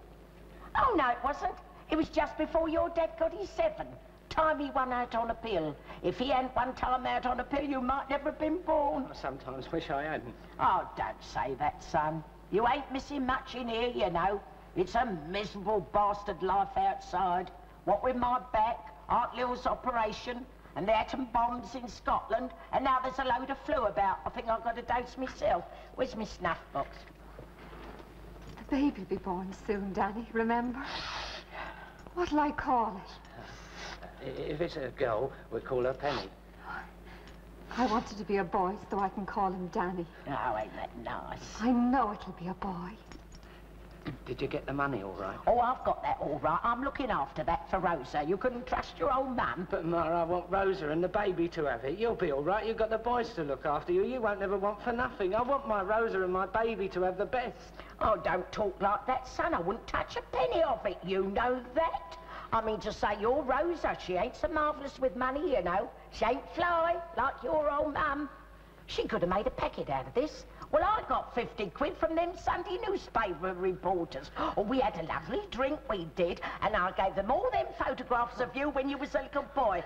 Mind you, they drank all my whiskey, but they did give me 50 quid, and as one of them said to your Aunt Lil, well, missus, they said, you can do with all the money you can get, because you won't get no insurance money. that's it." Insurance money, you bloody wicked old cow, insurance money. That's all you've ever thought of all your life, isn't it, Ma? Money, money, money. When I was a little kid, you tried to send me out thieving, and when I wouldn't go, you made me sit up all night making clothes pegs with me penknife. Money, money, money. Oh, take me away. I want to be hanged. I want to die. He's gone mad.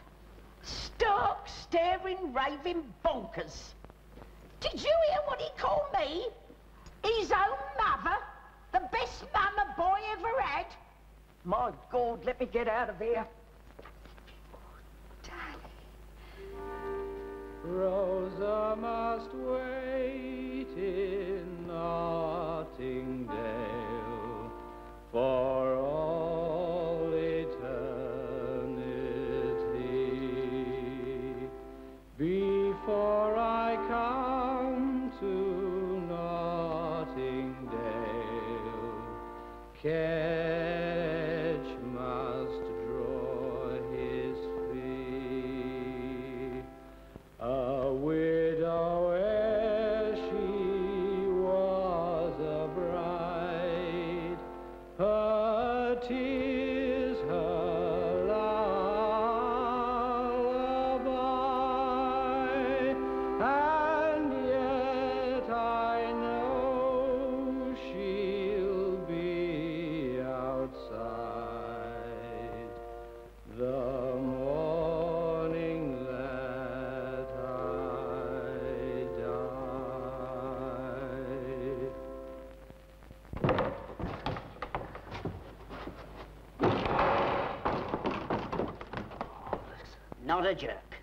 a jerk. Oh, lovely, Charlie.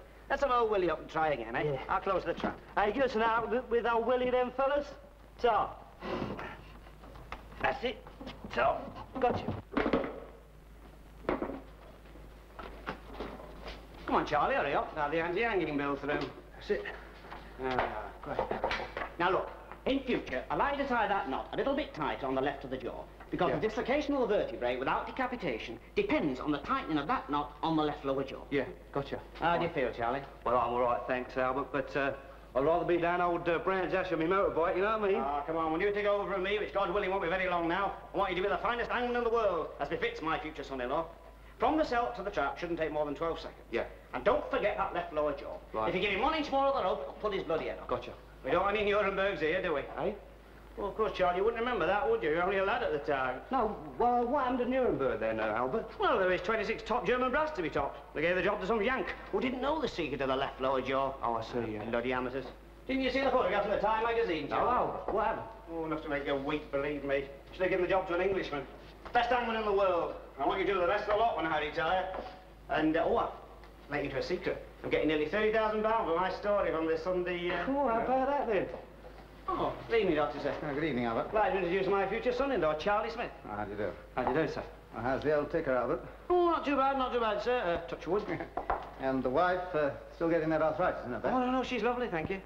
Charlie is a bit nervous. Tomorrow morning's the first time he's helping me. There's no reprieve, I suppose. No, the uh, Home Office issued their final statement this afternoon, with no possible grounds, anyway. Oh, good. We don't want to come all this way for nothing, do we? this man we're hanging in the morning, I've got his particulars here. Weight, 11 stone, 6 pound, is that right? That's right, Albert. Yeah, any peculiarities or deformities, any false teeth? No, it's a dead simple job for him. Will there be any trouble? Well, could be. He's a rough type, you know. I'm going to give him a sedative tonight. He appears to be all up and down since his last visit. Fell out with his old mother. Uh, anyway, Albert, uh, I must away. Uh, see you in the morning. Ah. Good night. Good night. Night. Cheerio, Doc. See him in the morning, all right. He's a nice enough fellow, that doctor, you know, but uh, he's nearly always half drunk at an execution. You're joking. He once told me he couldn't come to the execution yet unless he had three large scotches for breakfast. I can't believe it. It's a funny thing, that, isn't it? Squeamish. I don't need that, Charlie, neither will you. Come down here to do a job like any other. Look, we sleep in that cell opposite. The beds are a bit hard, but they make us quite comfortable. I brought a book of peace for us. There's a Mickey Spillane for you. Oh, so I am read this and, one. uh, Fantastic. grandfather's Bible for me. Great thing to have tradition in the family.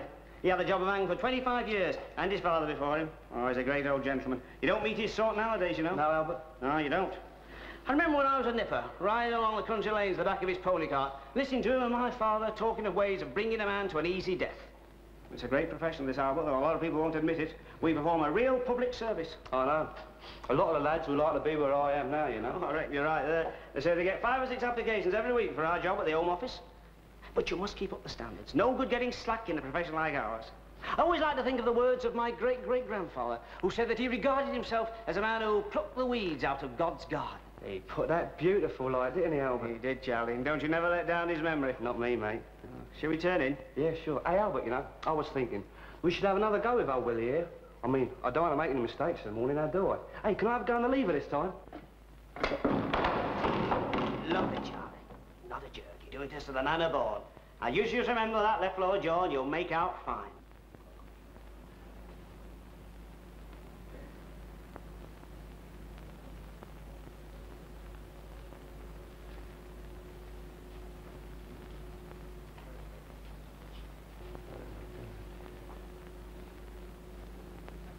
At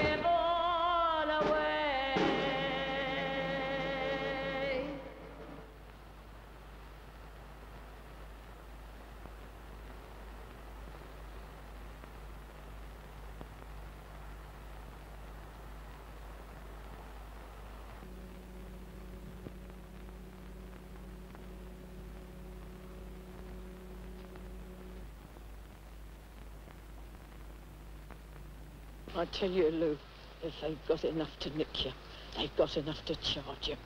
And if they've got enough to charge you, they've got enough to convict you. And if they convict you, don't you think they won't hang you? Because they bloody will, will the bastards. The old bleeding system's bent. Take it easy, Martin. Look after them, will you? Oh, Well, Ma, calm down now. I don't know why we even bothered to try and save him. I always knew they'd get him in the end. And why? Because he forgot the 11th commandment. Thou shalt not plead guilty. Yeah, yeah.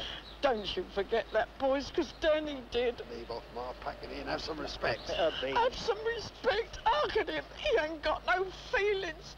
Well, my Danny was the best son in the whole wide world. And his very last words to me was that he'd got the best mum in all the world.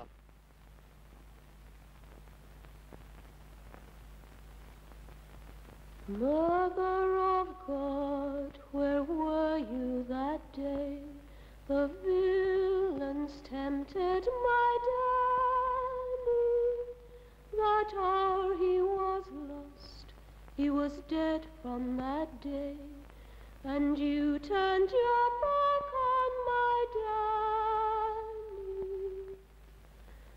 Mother of God, where are? They're coming to hang my daddy. The quicklime's prepared, no flower will grow on the grave where they buried my daddy.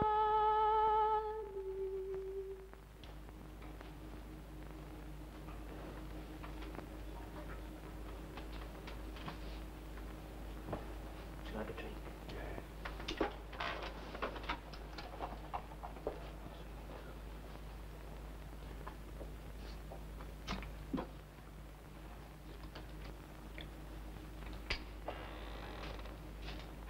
Would you like us to wait outside, Father? Would you please?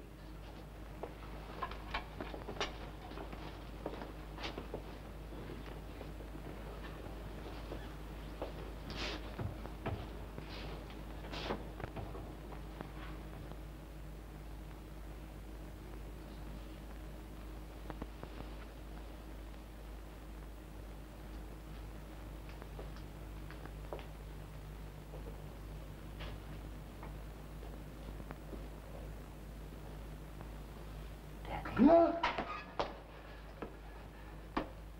frighten me, Father. Danny, come here. Danny, I want you to be very brave this morning. I want you to die like a good Catholic. I shan't leave you. I shall be with you all the time. Oh, to look after my Rosa, Father, and tell her I love her. Yes, of course I will.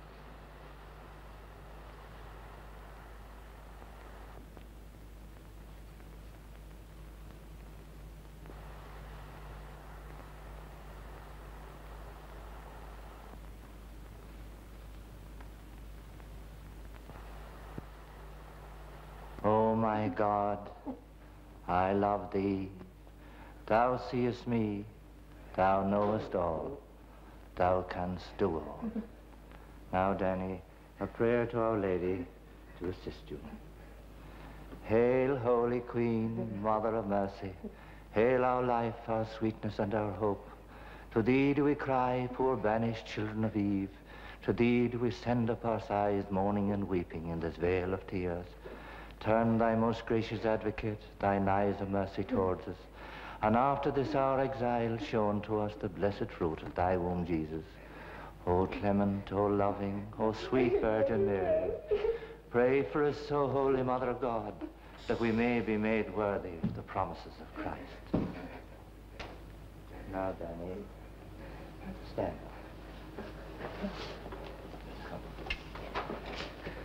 Here, Danny boy, drink this.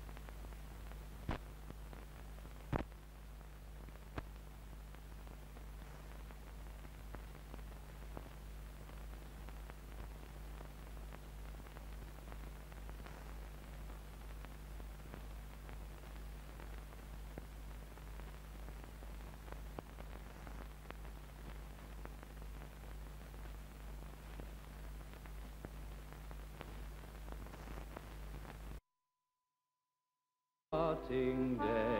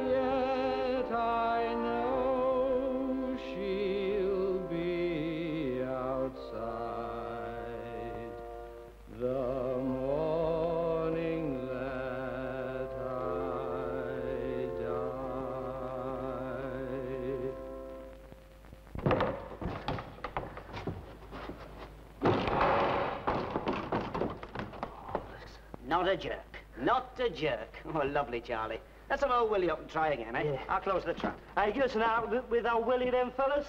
So. That's it. So, got you. Come on, Charlie, hurry up. Now the anti-hanging bill through. That's it. Ah, great. Now look, in future, you to tie that knot a little bit tighter on the left of the jaw. Because Yeah. the dislocation of the vertebrae without decapitation depends on the tightening of that knot on the left lower jaw. Yeah, gotcha. How do you feel, Charlie? Well, I'm all right, thanks, Albert, but uh, I'd rather be down old uh, Brands Hatch on my motorbike, you know what I mean? Ah, come on, when you take over from me, which God willing won't be very long now, I want you to be the finest hangman in the world, as befits my future son-in-law. From the cell to the trap shouldn't take more than 12 seconds. Yeah. And don't forget that left lower jaw. Right. If you give him one inch more of the rope, I'll pull his bloody head off. Gotcha. We don't want any Nurembergs here, do we? Eh?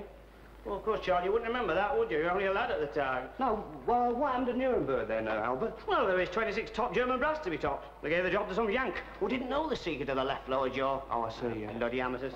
Didn't you see the photograph in the Time magazine, No, Charlie? Albert, what happened? Oh, enough to make you weep, believe me. Should have given the job to an Englishman.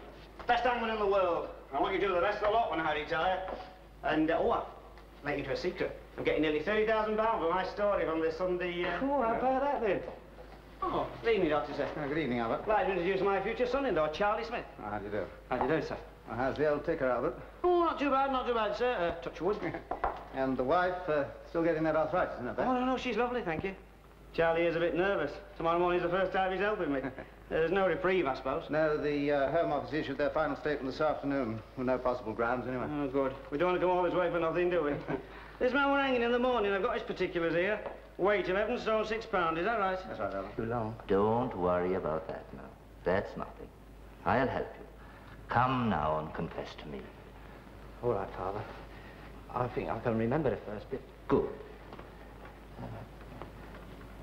Yes, Bless me, Father. yes. For I have sinned. Yes, that's it. yes. I, Yes, I, uh, yes. uh, Sit, sit, sit, sit up, Danny. Sit, mm-hmm. sit, sit, sit, sit up. Now, take your time. There's no hurry. Is that all right, Father? Yes, of course it is. Now, tell me everything you can remember doing wrong. Well, I've always been getting into fights all my life. I've been in fights since I was 14. I've given Abel a black eye, and I've been with my Rosa and wasn't never married. I've told a lot of lies. Oh, I'm a terrible villain, really, Father. God will never forgive me. I'll finish up in hell, won't I? No, no, you won't, Danny. Unless you die with mortal sin on your soul. Now, tell me all about this murder you're charged with. Don't be afraid. You see, you've left it out. No, Father, I haven't left nothing out. I know you won't believe me, but I never meant that screw no harm. He was in it anyway. It, it was supposed to be a sort of pantomime like, do you see? Yeah, I see, I see.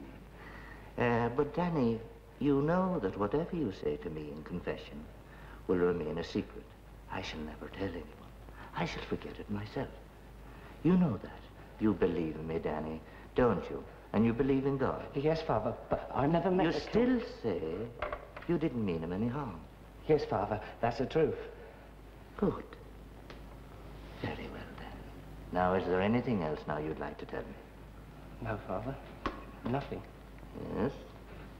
Only I don't want to die. I hate the bastards that put me in here. It ain't right that a man should have to die for something he done accidental. Believe me, Danny, I understand how you feel.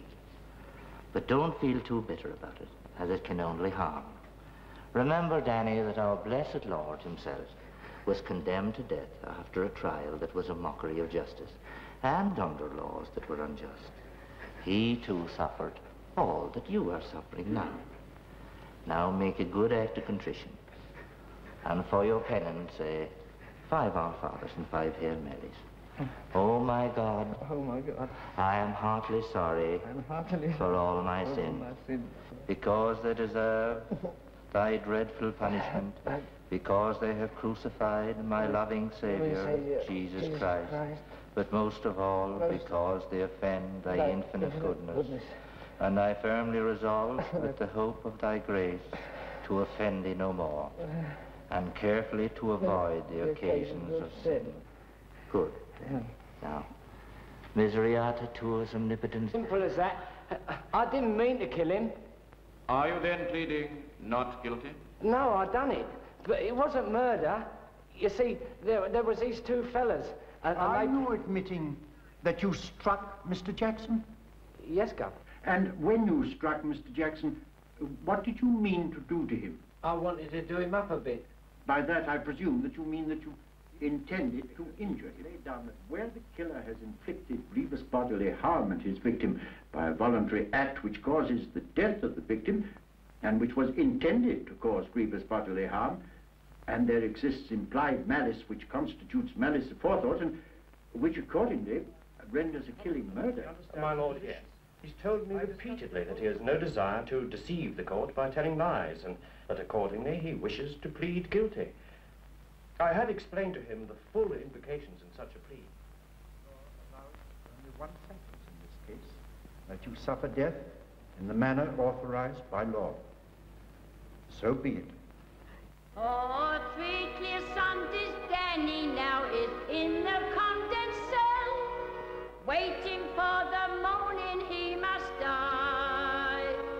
He counts the hours passing by the tolling of the bell, and before him sees the grave where he will lie. I'm very happy to see you again, Danny. Would you mind? Yes, Father. Thank you very much. Well, Danny, how are you? Well, Father, I don't really know.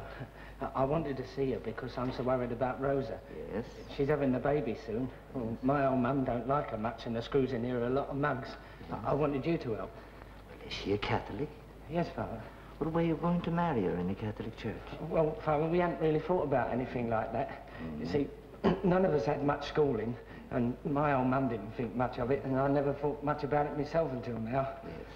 Well, most people, Danny, turn to God dur- during suffering. Now, have you received the sacrament recently? It's ten years, Father. I've not been to confession or communion since I was a little kid. Well, would you like me to come and say Mass in here tomorrow morning? Would you like to make a good confession for me now? Oh, I'd like to, Father, but I can't remember what to say. I've forgotten the words. I've never been confirmed like. Uh, I've committed a lot of sins. Uh, it'd take too long. Don't worry about that now. That's nothing. I'll help you. Come now and confess to me. All right, Father. I think I can remember the first bit. Good. Yes, Bless me, Father. yes. For I have sinned. Yes, sit, yes. I, Yes, I, yes. uh, sit, sit, sit, sit up, Danny. Sit, sit, sit. Next applicant. One on to you, sir. Uh, 427 Lee. Sir, can I have a special visit from my girl? What's so special about your girl? Well, she's in a family way and I'm worried about her. Well, if you're so concerned about her welfare, why didn't you marry her in the first place? Well, we were saving up to get married, then this happened. I've got six months for nothing. You'll get a visit in 30 days or not before, right? Sir, her father might sling her out. So what? Well, she might commit suicide. Oh, I'm sick and tired of listening to all this twaddle. Out! But, sir, you've got to let me see her. I've got to, have I? I told you to get out. Out. Chief, oh. put this man on report for disobeying an order and take him down below. You bastard old retired cop! Hey, what you want to allow people to I want to see my girl! I want to see my girl! Next applicant. You bastard!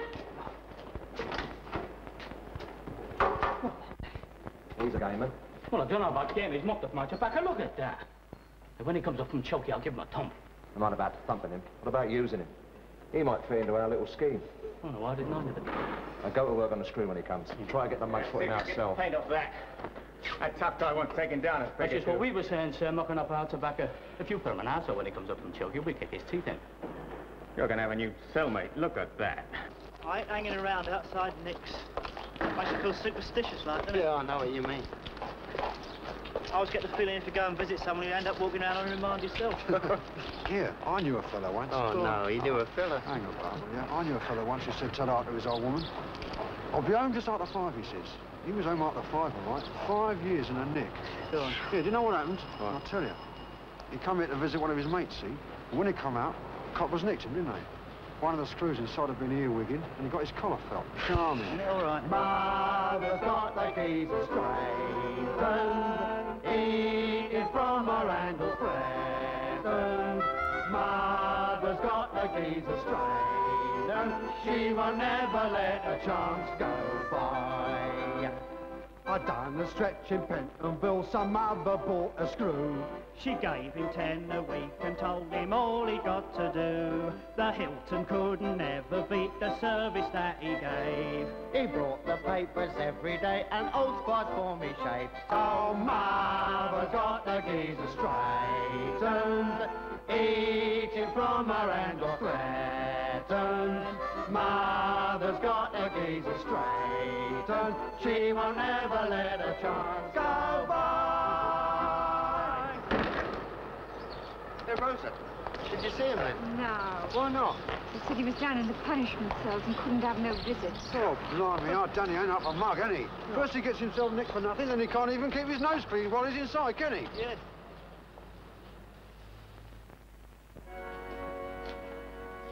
So Danny is... Oh. There ain't no peace on this earth.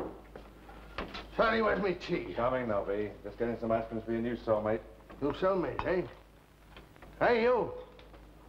What's your name? Lee. Danny Lee. You're the one that killed the screw. I didn't ever mean to. Have you got any snout? Yeah, hang on. I'll sling some across. Right. Thanks, pal. Where's my bloody tea? All right, Nobby. We'll go and get it now. Come on, old Lynn. It's good. Now that he's gone, hey, tell me, why did you kill the screw? I don't know. I suppose I must have hit him too hard. Yeah, I must be crazy. But if you're not crazy, do you know what they'll do to you? They'll put you in a condemned cell for three clear Sundays. That's the law. Then they'll thrush you up like a chicken. The hangman hits you over the head with a sack full of crap and throws you down, down the hole. And a dirty big screw swings onto your feet and gives your neck an extra jerk. And it'll cure my pox. There ain't no peace on this earth. I'd be better off to be dead. I think I'll strangle the hangman. No, I won't. I'm doing Charlie. Charlie, where's my bloody tea? Hurry up, Charlie. Because when I've had my tea, I'm going to kill you. Right, son. Doctor Come wants on, to see you. Charlie. Come and meet thy maker. I'll keep your tea hot for you. Now, give us your mug, Nobby. I'm coming on, sir. I'm gonna kill him, Charlie. Because there ain't no peace on this earth. Come on, the devil! All right, take it easy, take it easy. Steady. There you are. Here, it's coming up first thing after lunch, number one court. More scheming. Oh, a proper mug is our Denny. First he gets himself half a stretch for nothing. Now he's up on a murder charge. My own flesh and blood. Yeah, yeah, see that little bloke just got that one with glasses on, gone round the corner. Well, he's awaiting jury, and he's on our Danny's jury. I've been on his tail. Well, boys, I've got to do something. He's one of our own, you know. Sink or swim, even if I get my collar felt, I've got to help my daddy. Listen, Ma, we don't want you in the nick and all. Here, Ma, let me have a go at the keys. I'll straighten them out. No, no. You leave this to me. I'll do it my own way. You'll only mess it up. You smug me up. Come on, I've got to get rid of this stuff. Here, put those pussies away. You take my drawings, Jobs.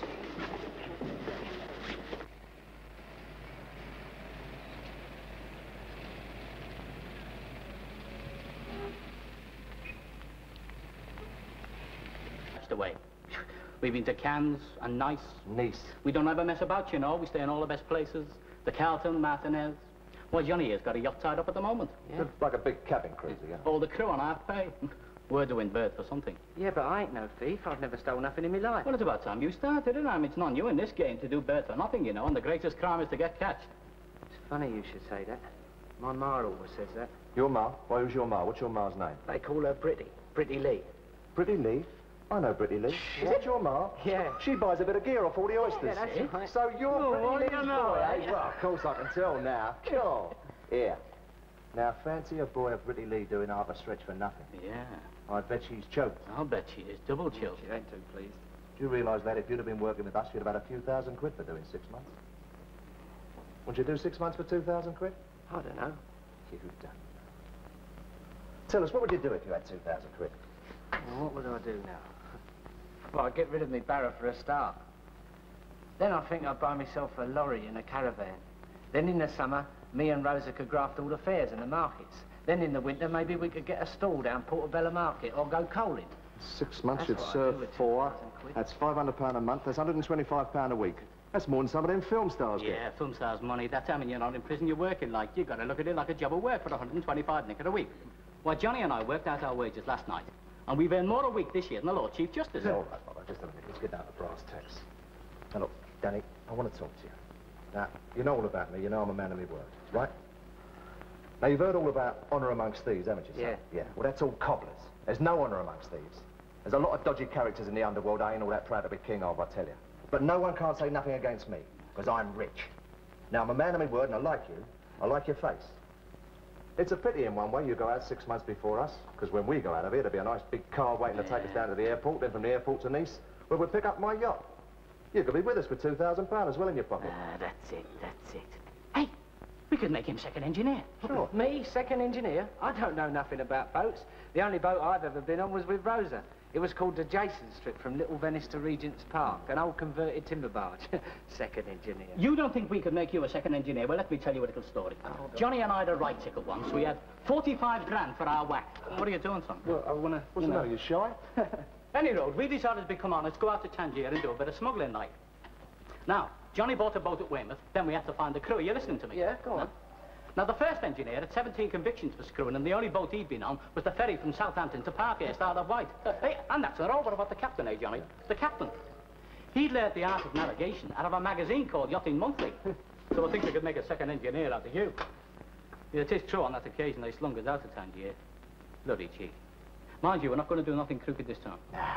With the hope of thy grace to offend thee no more, and carefully to avoid the occasions of sin. Good. Now, miseriata tuas omnipotens Deus et omittus peccatus tuus, perduca te ad vitam aeternam, amen. In nomine Patri et Filii Spiritus Sancti. God bless you, Danny. Well now, Danny, I hope you feel better. Have you, have you got your rosary? Have you, have you got your rosary, your rosary beads? Uh, no, Father, I lost them when I was a kid. Oh, well then you better take mine. There you are. Oh. Thank you, Father. Thank you. I shall ask the bishop to come and confirm them. And tomorrow morning I shall be here myself at seven to say mass. So, Danny, keep your heart up. And goodbye till then. Goodbye, Father.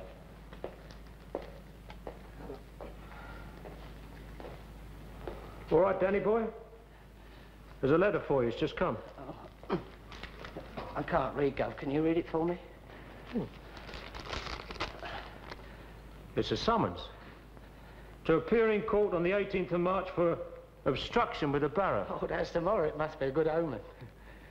Uh, well, would you write a nice letter to that magistrate for me, Gov? Now, let me see. Uh, sir, I'm sorry I cannot appear tomorrow.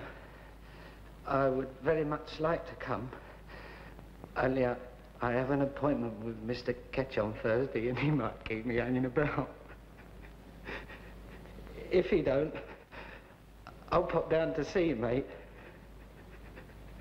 Why, why not send my papers to Miss, Mr. Ketch? He loves me in at the kill. From Lee. Now listen, dearie. When Danny comes in, don't start crying. You only upset him. You tell him that we're going out tonight to get signatures for his reprieve. Tell him all the papers say he'll be reprieved. I want to go in there and kiss my Danny. He's my baby, you Sorry, know. Ma. Against the rules. He's always been a good son to his mum and given me money. Sorry, Ma. Here, don't you tell me I can't go in and kiss him. I'll Oh, have you shut up, reported. Don't. I'll write to the Queen about you. Stinkers. Hello, sweetheart. Don't you look lovely, eh? Any news yet? Everybody thinks she'll get reprieved. We're going round the pubs tonight to try and get some more... How you get in there, throw out your clothes and pick up a blanket. Right, next one.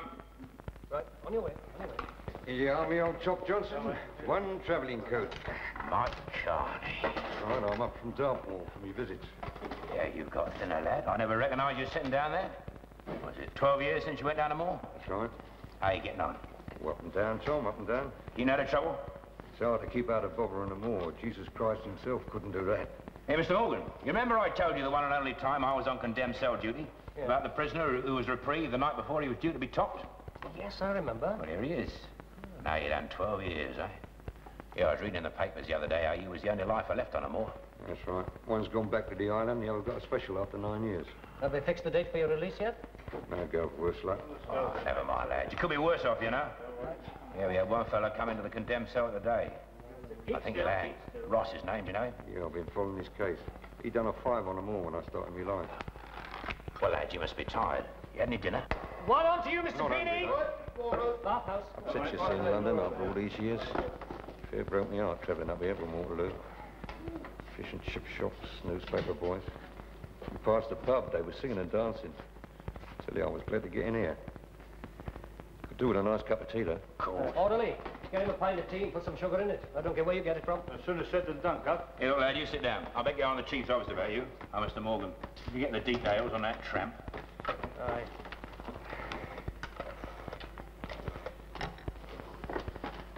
Hello, chief's office. Our reception here, sir. Yeah, all correct. I've got a man here, sir, Michael Carney. Yeah, he's a lifer up from Dartmoor, lodging here for accumulated visits. Yes, sir, he's wearing prison clothes, Dartmoor type special. Shall I pass him straight through, sir? Oh, yes, of course. Right, sir. Right. Yeah, well, the chief can't see you until tomorrow. But you can keep those clothes on, dine in a mess, and sleep over the hospital. I'll give you a pass. Yeah, yeah, mate.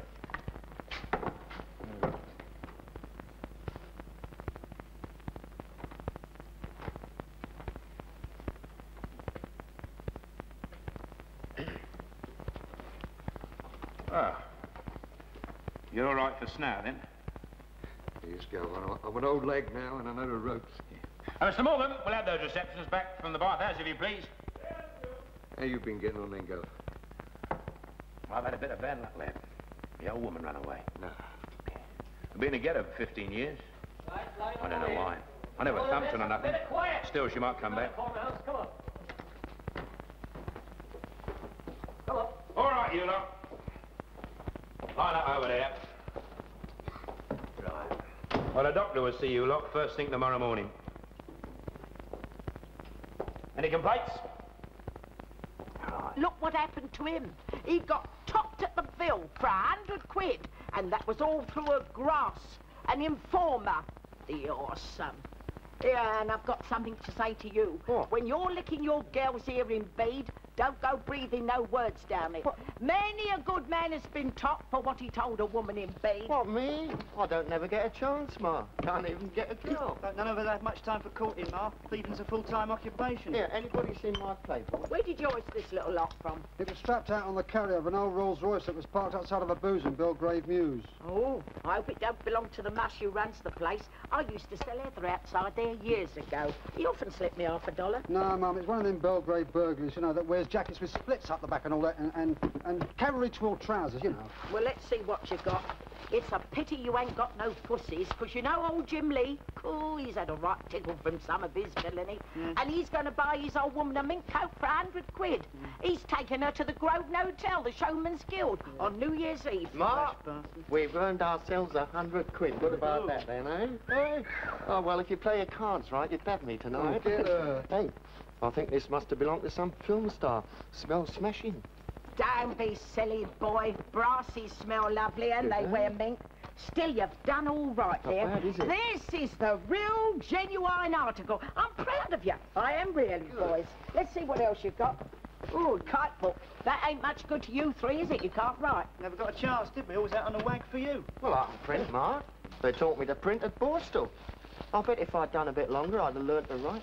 Here, do you think our Danny learnt to write? Danny, oh my God, don't talk to me about Danny. Why? First he gets himself six months for nothing, for chinning a copper, and then he pleads guilty. Yeah, that's true. Now listen, all of you. Never forget the 11th commandment. Thou shalt not plead guilty. Not even if you're banged to right. Here, who wants a Maryland cookie? Yeah, I'll have one. Yeah, give us one. We're three jolly screwsmen and Mary's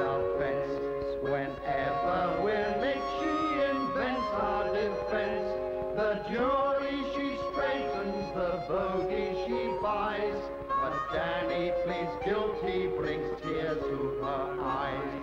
Singing do 'em up, trim 'em up, dump 'em up, boys. Oh, we'll do do 'em up, trim 'em up, dump 'em up, boys. Now I am a burglar as good as they come. And I am a cripple turn over a drum. I am a hoister, so nimble and smart.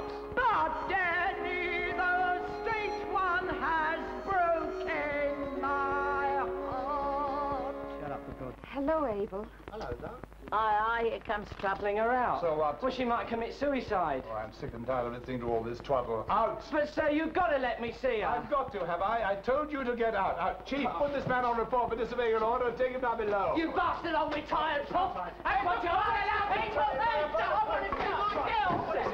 I want to see my girl! Next applicant. You bastard! He's a gamer. Well, I don't know about game. He's mocked off my tobacco. Look at that. And when he comes up from Chokey, I'll give him a thump. I'm not about thumping him. What about using him? He might fit into our little scheme. Oh, no, I didn't know that. Now go to work on the screw when he comes. And try to get the mugs put in our cell. Paint off that. That tough guy wants taken down. as That's big just what we were saying, sir, mocking up our tobacco. If you put him an arsehole when he comes up from Chokey, we kick his teeth in. You're going to have a new cellmate. Look at that. I ain't hanging around outside Nick's. Makes you feel superstitious like, doesn't it? Yeah, I know what you mean. I always get the feeling if you go and visit someone, you end up walking around on remand yourself. Here, I knew a fella once. Oh, Go on. no, he knew a fella. Hang on, Barbara, yeah. I knew a fella once who said ta to his old woman. I'll be home just after five, he says. He was home after five, all right. Five years in a nick. Go on. Yeah, do you know what happened? I'll tell you. He come here to visit one of his mates, see? And when he come out, coppers nicked him, didn't they? One of the screws inside had been earwigging, and he got his collar felt. Charming. All right. Mother's got the geezer straightened, eating from her handle present. Mother's got the geezer straightened, she will never let a chance go by. I done the stretching pent and Bill some other bought a screw. She gave him ten a week and told him all he got to do. The Hilton couldn't ever beat the service that he gave. He brought the papers every day and old spots for me shape. So mother's got the geezer straightened, eating from her handle flattened. Mother's got the geezer straightened, she will never let a chance go by. Hey, Rosa, did you see him then? No. Why not? He said he was down in the punishment cells and couldn't have no visits. Oh, blimey, our Danny ain't up a mug, ain't he? First he gets himself nicked for nothing, then he can't even keep his nose clean while he's inside, can he? Yeah.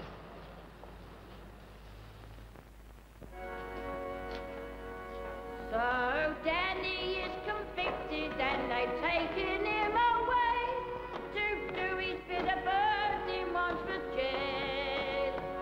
And the man that runs the prison is a man called Johnny May, and he's the hardest man in all the jail. Two and a half furlongs to go, criminals a length in front. You can you think everyone in their nick is on that house today with a name like that? Now wait, Assault on a copper. Hmm. What you get? Six months. Six months, eh? For nothing. You want to have material gain if you're going to come in here, son. Don't never come in for nothing. Yeah, that's it. Material gain. That's it. Material gain. You got to make crime pay. But Johnny and me, I mean, we done a few laggings, but we got thousands stashed away. We've been to Cannes and Nice. Nice. We don't ever mess about, you know. We stay in all the best places. The Carlton, Martinez. Well, Johnny has got a yacht tied up at the moment. Looks like a big cabin cruiser, yeah. All the crew on half pay. We're doing birth for something. Yeah, but I ain't no thief. I've never stole nothing in my life. Well, it's about time you started it. I mean, it's not you in this game to do birth for nothing, you know, and the greatest crime is to get catched. It's funny you should say that. My ma always says that. Your ma? Why, who's your ma? What's your ma's name? They call her Britty. Britty Lee. Britty Lee? I know Britty Lee. Is that your ma? Yeah. She buys a bit of gear off all the oysters. Yeah, that's right. So you're Oh, Britty Lee's you know, boy, eh? Well, of course I can tell now. Cool. Here. Now, fancy a boy of Britty Lee doing half a stretch for nothing. Yeah. Oh, I bet she's choked. I'll bet she is. Double choked. She ain't too pleased. Do you realise that if you'd have been working with us, you'd have had a few thousand quid for doing six months? Wouldn't you do six months for two thousand quid? I don't know. You don't. Tell us, what would you do if you had two thousand quid? Well, what would I do now? Well, I'd get rid of me barrow for a start. Then I think I'd buy myself a lorry and a caravan. Then in the summer, me and Rosa could graft all the fairs and the markets. Then in the winter, maybe we could get a stall down Portobello Market or go coaling. Six months, That's you'd serve do four. That's £500 a month. That's £125 a week. That's more than some of them film stars get. Yeah, film stars money. That's how many you're not in prison, you're working like. You've got to look at it like a job of work for 125 nick a week. Why, Johnny and I worked out our wages last night, and we've earned more a week this year than the Lord Chief Justice. All right, all right, just a minute. Let's get down to brass tacks. Now, look, Danny, I want to talk to you. Now, you know all about me. You know I'm a man of my word, right? Now, you've heard all about honour amongst thieves, haven't you, son? Yeah. Yeah. Well, that's all cobblers. There's no honour amongst thieves. There's a lot of dodgy characters in the underworld I ain't all that proud to be king of, I tell you. But no one can't say nothing against me, because I'm rich. Now, I'm a man of my word, and I like you. I like your face. It's a pity in one way you go out six months before us, because when we go out of here, there'll be a nice big car waiting to take us down to the airport, then from the airport to Nice, where we'll pick up my yacht. You could be with us with £2,000 as well in your pocket. Ah, that's it, that's it. We could make him second engineer. Sure. Me, second engineer? I don't know nothing about boats. The only boat I've ever been on was with Rosa. It was called the Jason's Trip from Little Venice to Regent's Park, an old converted timber barge. second engineer. You don't think we could make you a second engineer? Well, let me tell you a little story. Oh, Johnny and I had a right ticket once. We had 45 grand for our whack. What are you doing, son? Well, I want to... What's the matter, you shy? Any road, we decided to become honest, go out to Tangier and do a bit of smuggling night. Now, Johnny bought a boat at Weymouth, then we had to find a crew. Are you listening to me? Yeah, go on. Now, the first engineer had 17 convictions for screwing, and the only boat he'd been on was the ferry from Southampton to Parkhurst, Isle of Wight. Uh, hey, and... Siamese back scratches, isn't it? Siamese. Anyway, let's have a Hi, hi. Have it again. Secret drinker, Jimmy, let's take it with the silver for you. What? Thank you. Looks as though you've had a good day out. Don't forget one. Treason stunk on that stall all day. I wish it was no thanks. Here, do you know the North had the cheek to speak to me on Look, the darling, why don't you get yourself all dolled up? We're going to a right party. All the chaps will be there. Oh, go away. You stink of onions. Oh, ain't it nice? No. Anyway, I'm not going to no party tonight. I've got to help my mum make up 20 reels by Monday. Go. Oh, no, you go on your own. But if you were a man, you'd have to come out and help. Well, I ain't a man, and I'm going to enjoy myself before I marry you. Here you are then, three Right, I got you. And here's your three and a kip change. Lovely. Good on you. I don't take those. Come on, Henry, where you been? Oh, I've been up there. He's been hanging about, and he was all Cheers. hanging. Cheers. Cheers, Cocker. I'm off. Look after yourself. Ta-ra, then. Don't catch cold. It's all cobblers. More like four quid wrapped round a toilet roll. that mob's from Hoxton. Been working a three-car trick in the market. What, find a lady? Yeah. Cool, I thought they went, went out with Dickens. Not likely. They're half Jamaica around here on a Saturday trying to find a lady. Yeah, well, that mob don't need any telling where to find the ladies on this map, does it? And the other bar. Now, looking for my friend. I don't give a damn who you're looking for. Round the other bar if you want a drink. I'll give me a drink. Now, look, man, just don't push it. Round. Do you mind? Out. Thank you. Yeah. Yeah. Down the other bar. All right. Ta-ra. I thought there was a colour bar in Notting Hill. Well, it ain't. But I can't serve blacks in this bar. I'd miss all, lose all my respectable customers. Did you say respectable, Jimmy? Right, Tap. Lord help us, look who's just blowed in. The wickedest copper in Notting Dale, Mr. One a Day. Now, leave off, Porky. He won't be happy until he's nicked one, and today it could be you. Give us the same. Some again, right? All right, what's it? Now, I told you, mob, to keep up this manner. If I see you on this manner again, I'll do the lot of you for sus. Keep your villainy to Hoxton. With enough villains here as it is. Uh, without immigrants, do you understand? Keep off my manor. Well, brother. Yeah. Well, the boss. So you think that's clever, do you?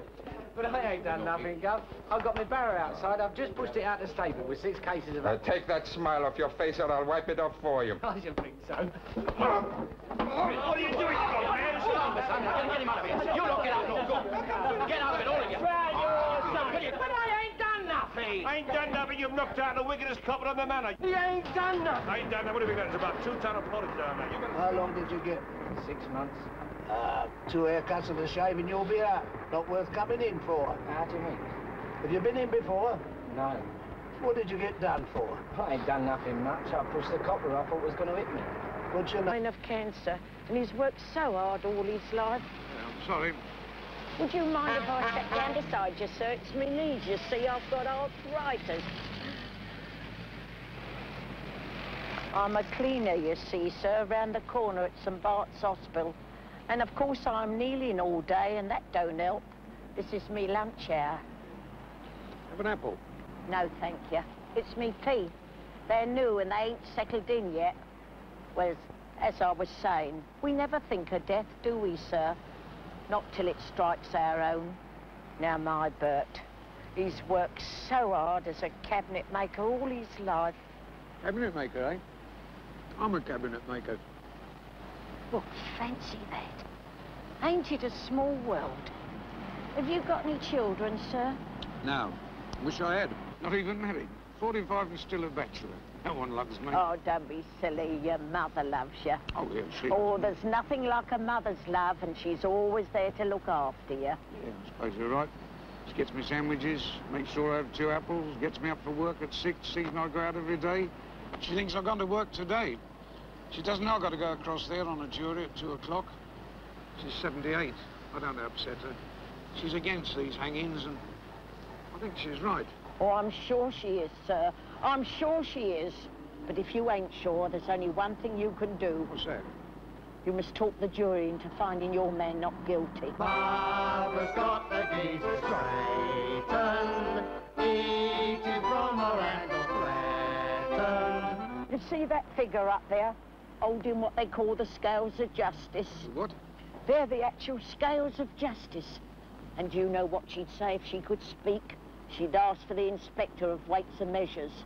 Them weights are very dodgy, sir. Barbara's got the geezer straightened, she will never let a chance go by. Are you Daniel Lee?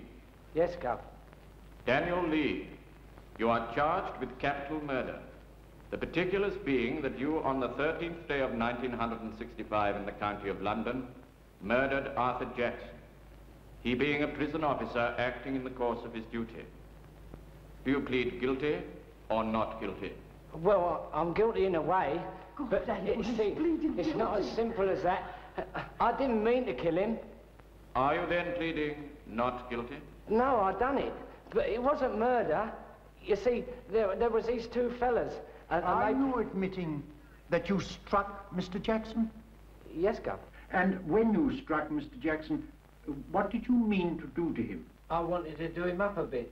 By that, I presume that you mean that you intended to injure him. Lay down that where the killer has inflicted grievous bodily... When they're nicking on that house today with a name like that. Oh, wait. It's Golden Salamba. That's better. Yeah, Golden Salamba's won it. I'd go for that. Good job, too. We stood to lose 40 ounces of snout if criminal had won. Yeah. Hey, Johnny. hope they're not going to stick a tramp in this Peter with us tonight. I wish they'd transfer one of them birds from Holloway. That'd do me. Get away. You can't make love on porridge.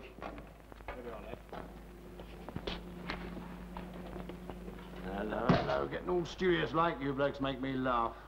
Yeah, I a new cellmate for you. He's been out in choking for a few days. You better have a talk with him, otherwise he'll lose a bit more emission. Up there, lad. Tom. What's your name, son? Dan Lee. What's yours, mate? Mine? Johnny May. And this here's Robbo. I'll go. Johnny May? The king of the underworld? That's what the papers say. Anyway, never mind about that, son. How long you been down Chokey? Three days number one, seven days number two. I lost three days remission. What for, lad? Oh, my bird Rosa, see, she's in the family way. And I heard that she'd come up here to visit me. Well, they told her I couldn't have a visit for 28 days and they wouldn't let her see me. But when I saw the governor, I'd done me nut and called him a dirty, retired old puff. Yeah. He may be an old puff, but he's not retired. I remember him when he was housemaster at Borstal. He's not on his own. I could tell you about a few tearaways who was puffs. I caught a chiv merchant bank to rights in his Peter one day. Anyway, son, why don't you write to your girl? Cheer her up. I'm not very good at reading or writing. Well, what'd you do down the punishment cells then if you can't read? Nothing. I only thought of my Rosa all the time. I'm dead worried about her, what with her being in the family way and all. She ain't got no money and I think her old man will kick her out. Yeah, son, have a smoke. Ta. You mentioned money just now. Have you ever had two grand? Two thousand quid? Me? 20 pound weight of chestnuts about all I've ever had. What's the most money you've ever made, son? Um, 12 quid. Grafting the barrel on election day. Twelve quid, eh? It's a diabolical liberty, you know. It's not fair. Some have plenty and some have nothing. What are you in for, son? Salt on the copper. What you get? Six months. Six months, eh? For nothing. You want to have material gain if you're going to come in here, son. Don't never come in for nothing. Yeah, that's it. Material gain. That's it. Material gain. You got to make crime pay. But Johnny and me, I mean, we done a few leggings, but we got thousands stashed away. We've been to Cannes and Nice. Nice. We don't ever mess about, you know. We stay in all the best places. The Carlton, Martinez. Well, Johnny has got a yacht tied up at the moment. It's Like a big cabin cruiser, yeah. All the crew on half pay. We're doing birth for something. Yeah, but I ain't no thief. I've never stole nothing in my life. Well, it's about time you started it. I mean, it's not you in this game to do birth or nothing, you know, and the greatest crime is to get catched. It's funny you should say that. My ma always says that. Your ma? Why, who's your ma? What's your ma's name? They call her Britty. Britty Lee. Britty Lee? I know Britty Lee. Is that your ma? Yeah. She buys a bit of gear off all the oysters. Yeah, that's right. So you're Oh, Britty you Lee's know, boy, eh? eh? Well, Yeah, I know what you mean. I always get the feeling if you go and visit someone, you end up walking around on remand yourself. Yeah, I knew a fella once. Oh, Go on. no, you knew a fella. Hang on, Barbara, yeah. I knew a fella once who said ta to his old woman. I'll be home just after five, he says. He was home after five, all right. Five years in a nick. Go on. Yeah, do you know what happened? I'll tell you. He come here to visit one of his mates, see? And when he come out, coppers nicked him, didn't they? One of the screws inside had been earwigging, and he got his collar felt. Charming. all right. Mother's got the geezer straightened, eating from her handle threatened. Mother's got the geezer straightened, she will never let a chance go by. I done a stretch in Pentonville, some other bought a screw. She gave him ten a week and told him all he got to do. The Hilton couldn't ever beat the service that he gave. He brought the papers every day and old spots for me shape. So mother's got the geezer straightened, eating from her handle threatened. Mother's got the geezer straightened, she will never let a chance go by. Hey, Rosa, did you see him then? No. Why not? He said he was down in the punishment cells and couldn't have no visits. Oh, blimey, our Danny ain't up a mug, ain't he? First he gets himself nicked for nothing, then he can't even keep his nose clean while he's inside, can he? Yes.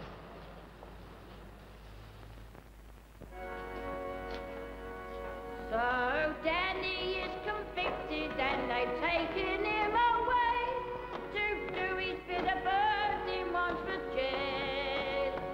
And the man that runs the prison is a man called Johnny May, and he's the hardest man in all the jail. Two and a half furlongs to go, criminals a length in front. You can you think everyone in their nick is on that house today with a name like that. Oh, wait. It's Golden Salamba. That's better. Yeah, Golden Salamba's won it. Go for that. Good job, too. We stood to lose 40 ounces of snart if criminal had won. Yeah. Hey, Johnny. Hope they're not going to stick a tramp in this Peter with us tonight. I wish they transfer one of them birds from Holloway. That'd do me. Get away. You can't make love on porridge.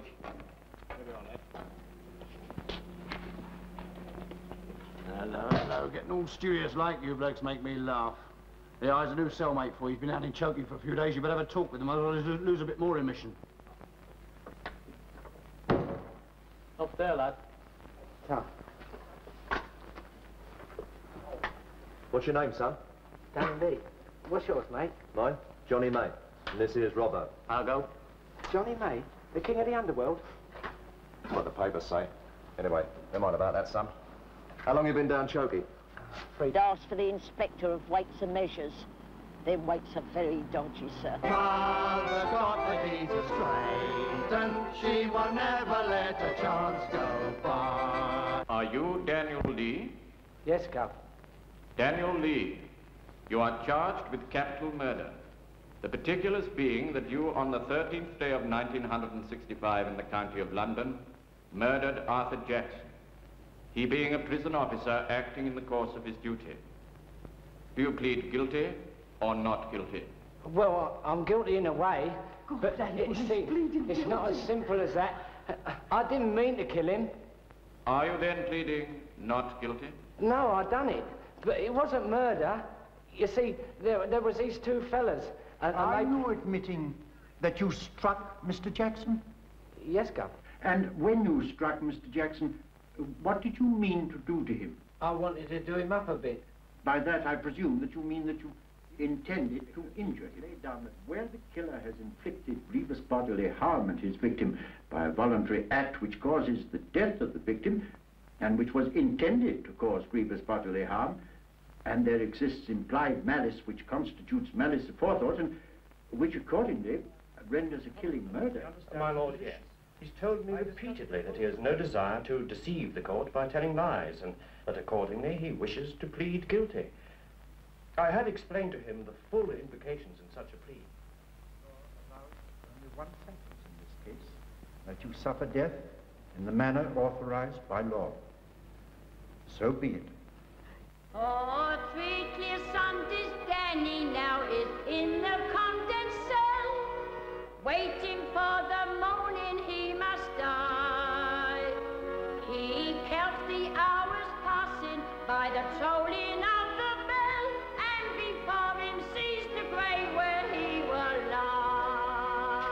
Very happy to see you again, Dad. Would you mind? Yes, Father. Thank you very much. Well, Danny, how are you? Well, Father, I don't really know. I- wanted to see you because I'm so worried about Rosa. Yes? She's having the baby soon. Well, my old mum don't like her much, and the screws in here are a lot of mugs. I, I wanted you to help. Well, is she a Catholic? Yes, Father. Well, were you going to marry her in the Catholic church? Well, Father, we hadn't really thought about anything like that. You mm. see, none of us had much schooling, and my old mum didn't think much of it, and I never thought much about it myself until now. Yes. Well, most people, Danny, turn to God dur- during suffering. Now, w- have you received the sacrament recently?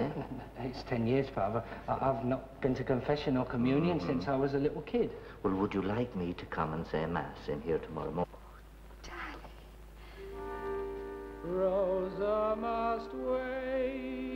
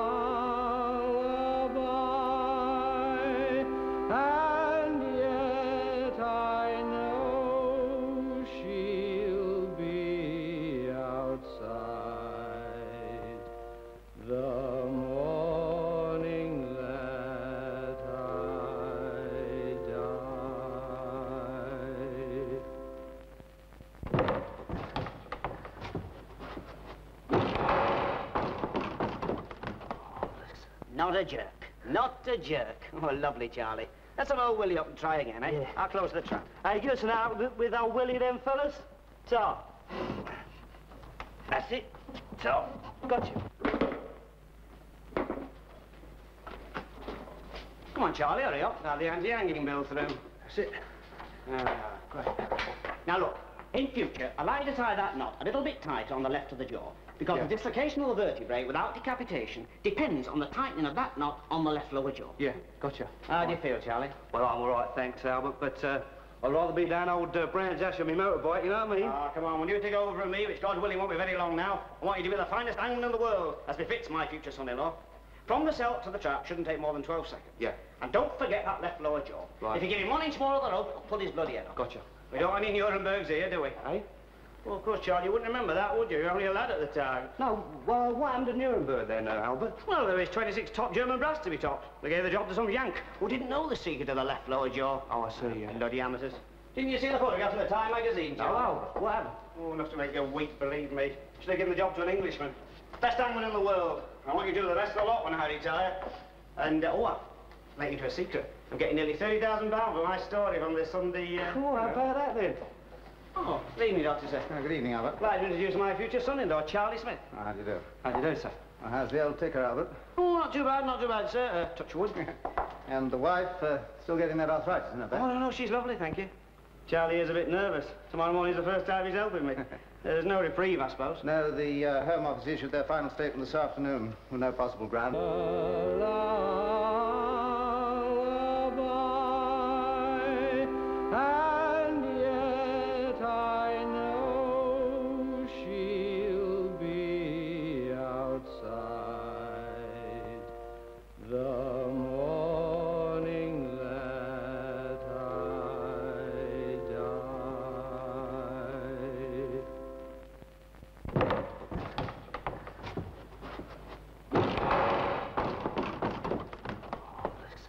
a jerk. Not a jerk. Oh, lovely, Charlie. Let's have old Willie up and try again, eh? I'll close the trap. Hey, give us an out with- old Willie then, fellas.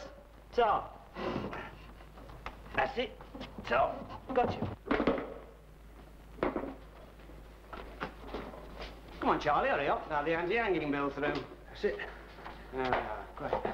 Now look, in future, allow you to tie that knot a little bit tighter on the left of the jaw. Because the dislocation of the vertebrae without decapitation depends on the tightening of that knot on the left lower jaw. Yeah, gotcha. How do you feel, Charlie? Well, I'm all right, thanks, Albert, but uh, I'd rather be down old uh, Brands Hatch on my motorbike, you know what I mean? Ah, come on, when you take over from me, which God willing won't be very long now, I want you to be the finest hangman in the world, as befits my future son-in-law. From the cell to the trap shouldn't take more than 12 seconds. Yeah. And don't forget that left lower jaw. Right. If you give him one inch more of the rope, I'll pull his bloody head off. Gotcha. We don't want any Nurembergs here, do we? Eh? Well, of course, Charlie, you wouldn't remember that, would you? You were only a lad at the time. No, well, what happened to Nuremberg then, uh, Albert? Well, there was 26 top German brass to be topped. They gave the job to some Yank who didn't know the secret of the left lower jaw. Oh, I see, yeah. Bloody amateurs. Didn't you see the photograph in the Time magazine, No, Charlie? Albert, what happened? Oh, enough to make you weak, believe me. Should have given the job to an Englishman. Best hangman in the world. I want you to do the rest of the lot when I retire. And, uh, oh, I'll let you into a secret. I'm getting nearly £30,000 for my story from this Sunday... Uh... Oh, how about that, then? Oh, good evening, Doctor, sir. good evening, Albert. Glad to introduce my future son-in-law, Charlie Smith. How do you do? How do you do, sir? Well, how's the old ticker, Albert? Oh, not too bad, not too bad, sir. Uh, touch wood. And the wife, uh, still getting that arthritis, isn't it? Oh, no, no, she's lovely, thank you. Charlie is a bit nervous. Tomorrow morning's the first time he's helping me. There's no reprieve, I suppose. No, the uh, Home Office issued their final statement this afternoon with no possible grounds, anyway. Oh, good. We don't want to come all this way for nothing, do we?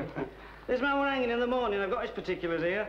Weight 11 stone 6 pound, is that right? That's right, Albert. Yeah, any peculiarities or deformities, any false teeth? No, it's a dead simple job for you. Will there be any trouble? Well, could be. He's a rough type, you know. I'm going to give him a sedative tonight. He appears to be all up and down since his last visit. Fell out with his old mother.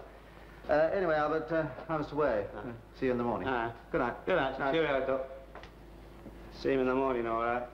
He's a nice enough fellow, that doctor, you know, but uh, he's nearly always half drunk at an execution. You're joking. He once told me he couldn't come to the executions yet unless he had three light scotches for breakfast. I can't believe it. It's a funny thing, that, isn't it? Squeamish.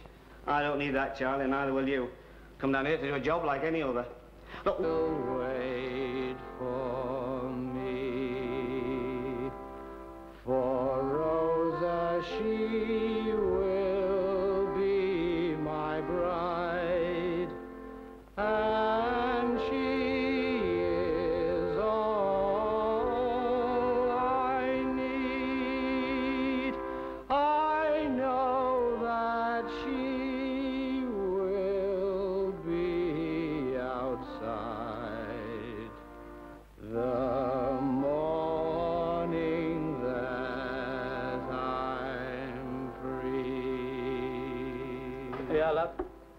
Have a couple of days, make you feel good. Oh.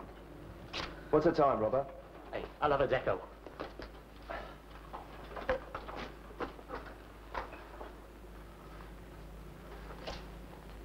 How can he tell the time looking out there? Well, dead on 8 o'clock every night as a bird over there gets undressed. It's a screw's wife or daughter. She gives us a flash, but she don't know it. Is she about? About? Oh, she's not about. Jigger me, she hasn't half got some form. God, they get on my Bristols. Well, never mind about that. We'll have enough time to think about that when we get out of here. Right, Arthur! Right, George! In a few minutes, the screw will be round slopping out. Robbo, we won't use the leg of the chair. Ask Joe for the cosh. Hey, Joe. Send down my line. Put old Bill on it.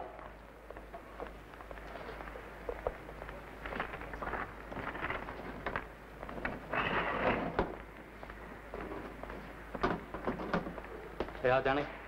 Old Bill. Hey, when you get out in the morning, don't forget to go and see my old woman. Okay, mate. He'll see his old woman all right. He's a right tartar. I wonder who's sleeping in my bed tonight. Listen to that mug. He his old woman couldn't sleep straight in her bed. Never mind be straight to it. Cut the bunny, you'll be here in a minute. Go on, son, get your pot.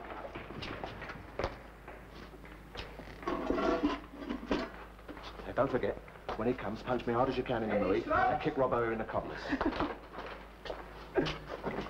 Any stops? Hey! Here, Lively! Hey! Quick up there, all these two! These two's up here! Oh, quick! What's the Lively, in here? No, he's done. Oh. I think he's done his stuff. Get him out! Me up with that cuss. Help him out, quick!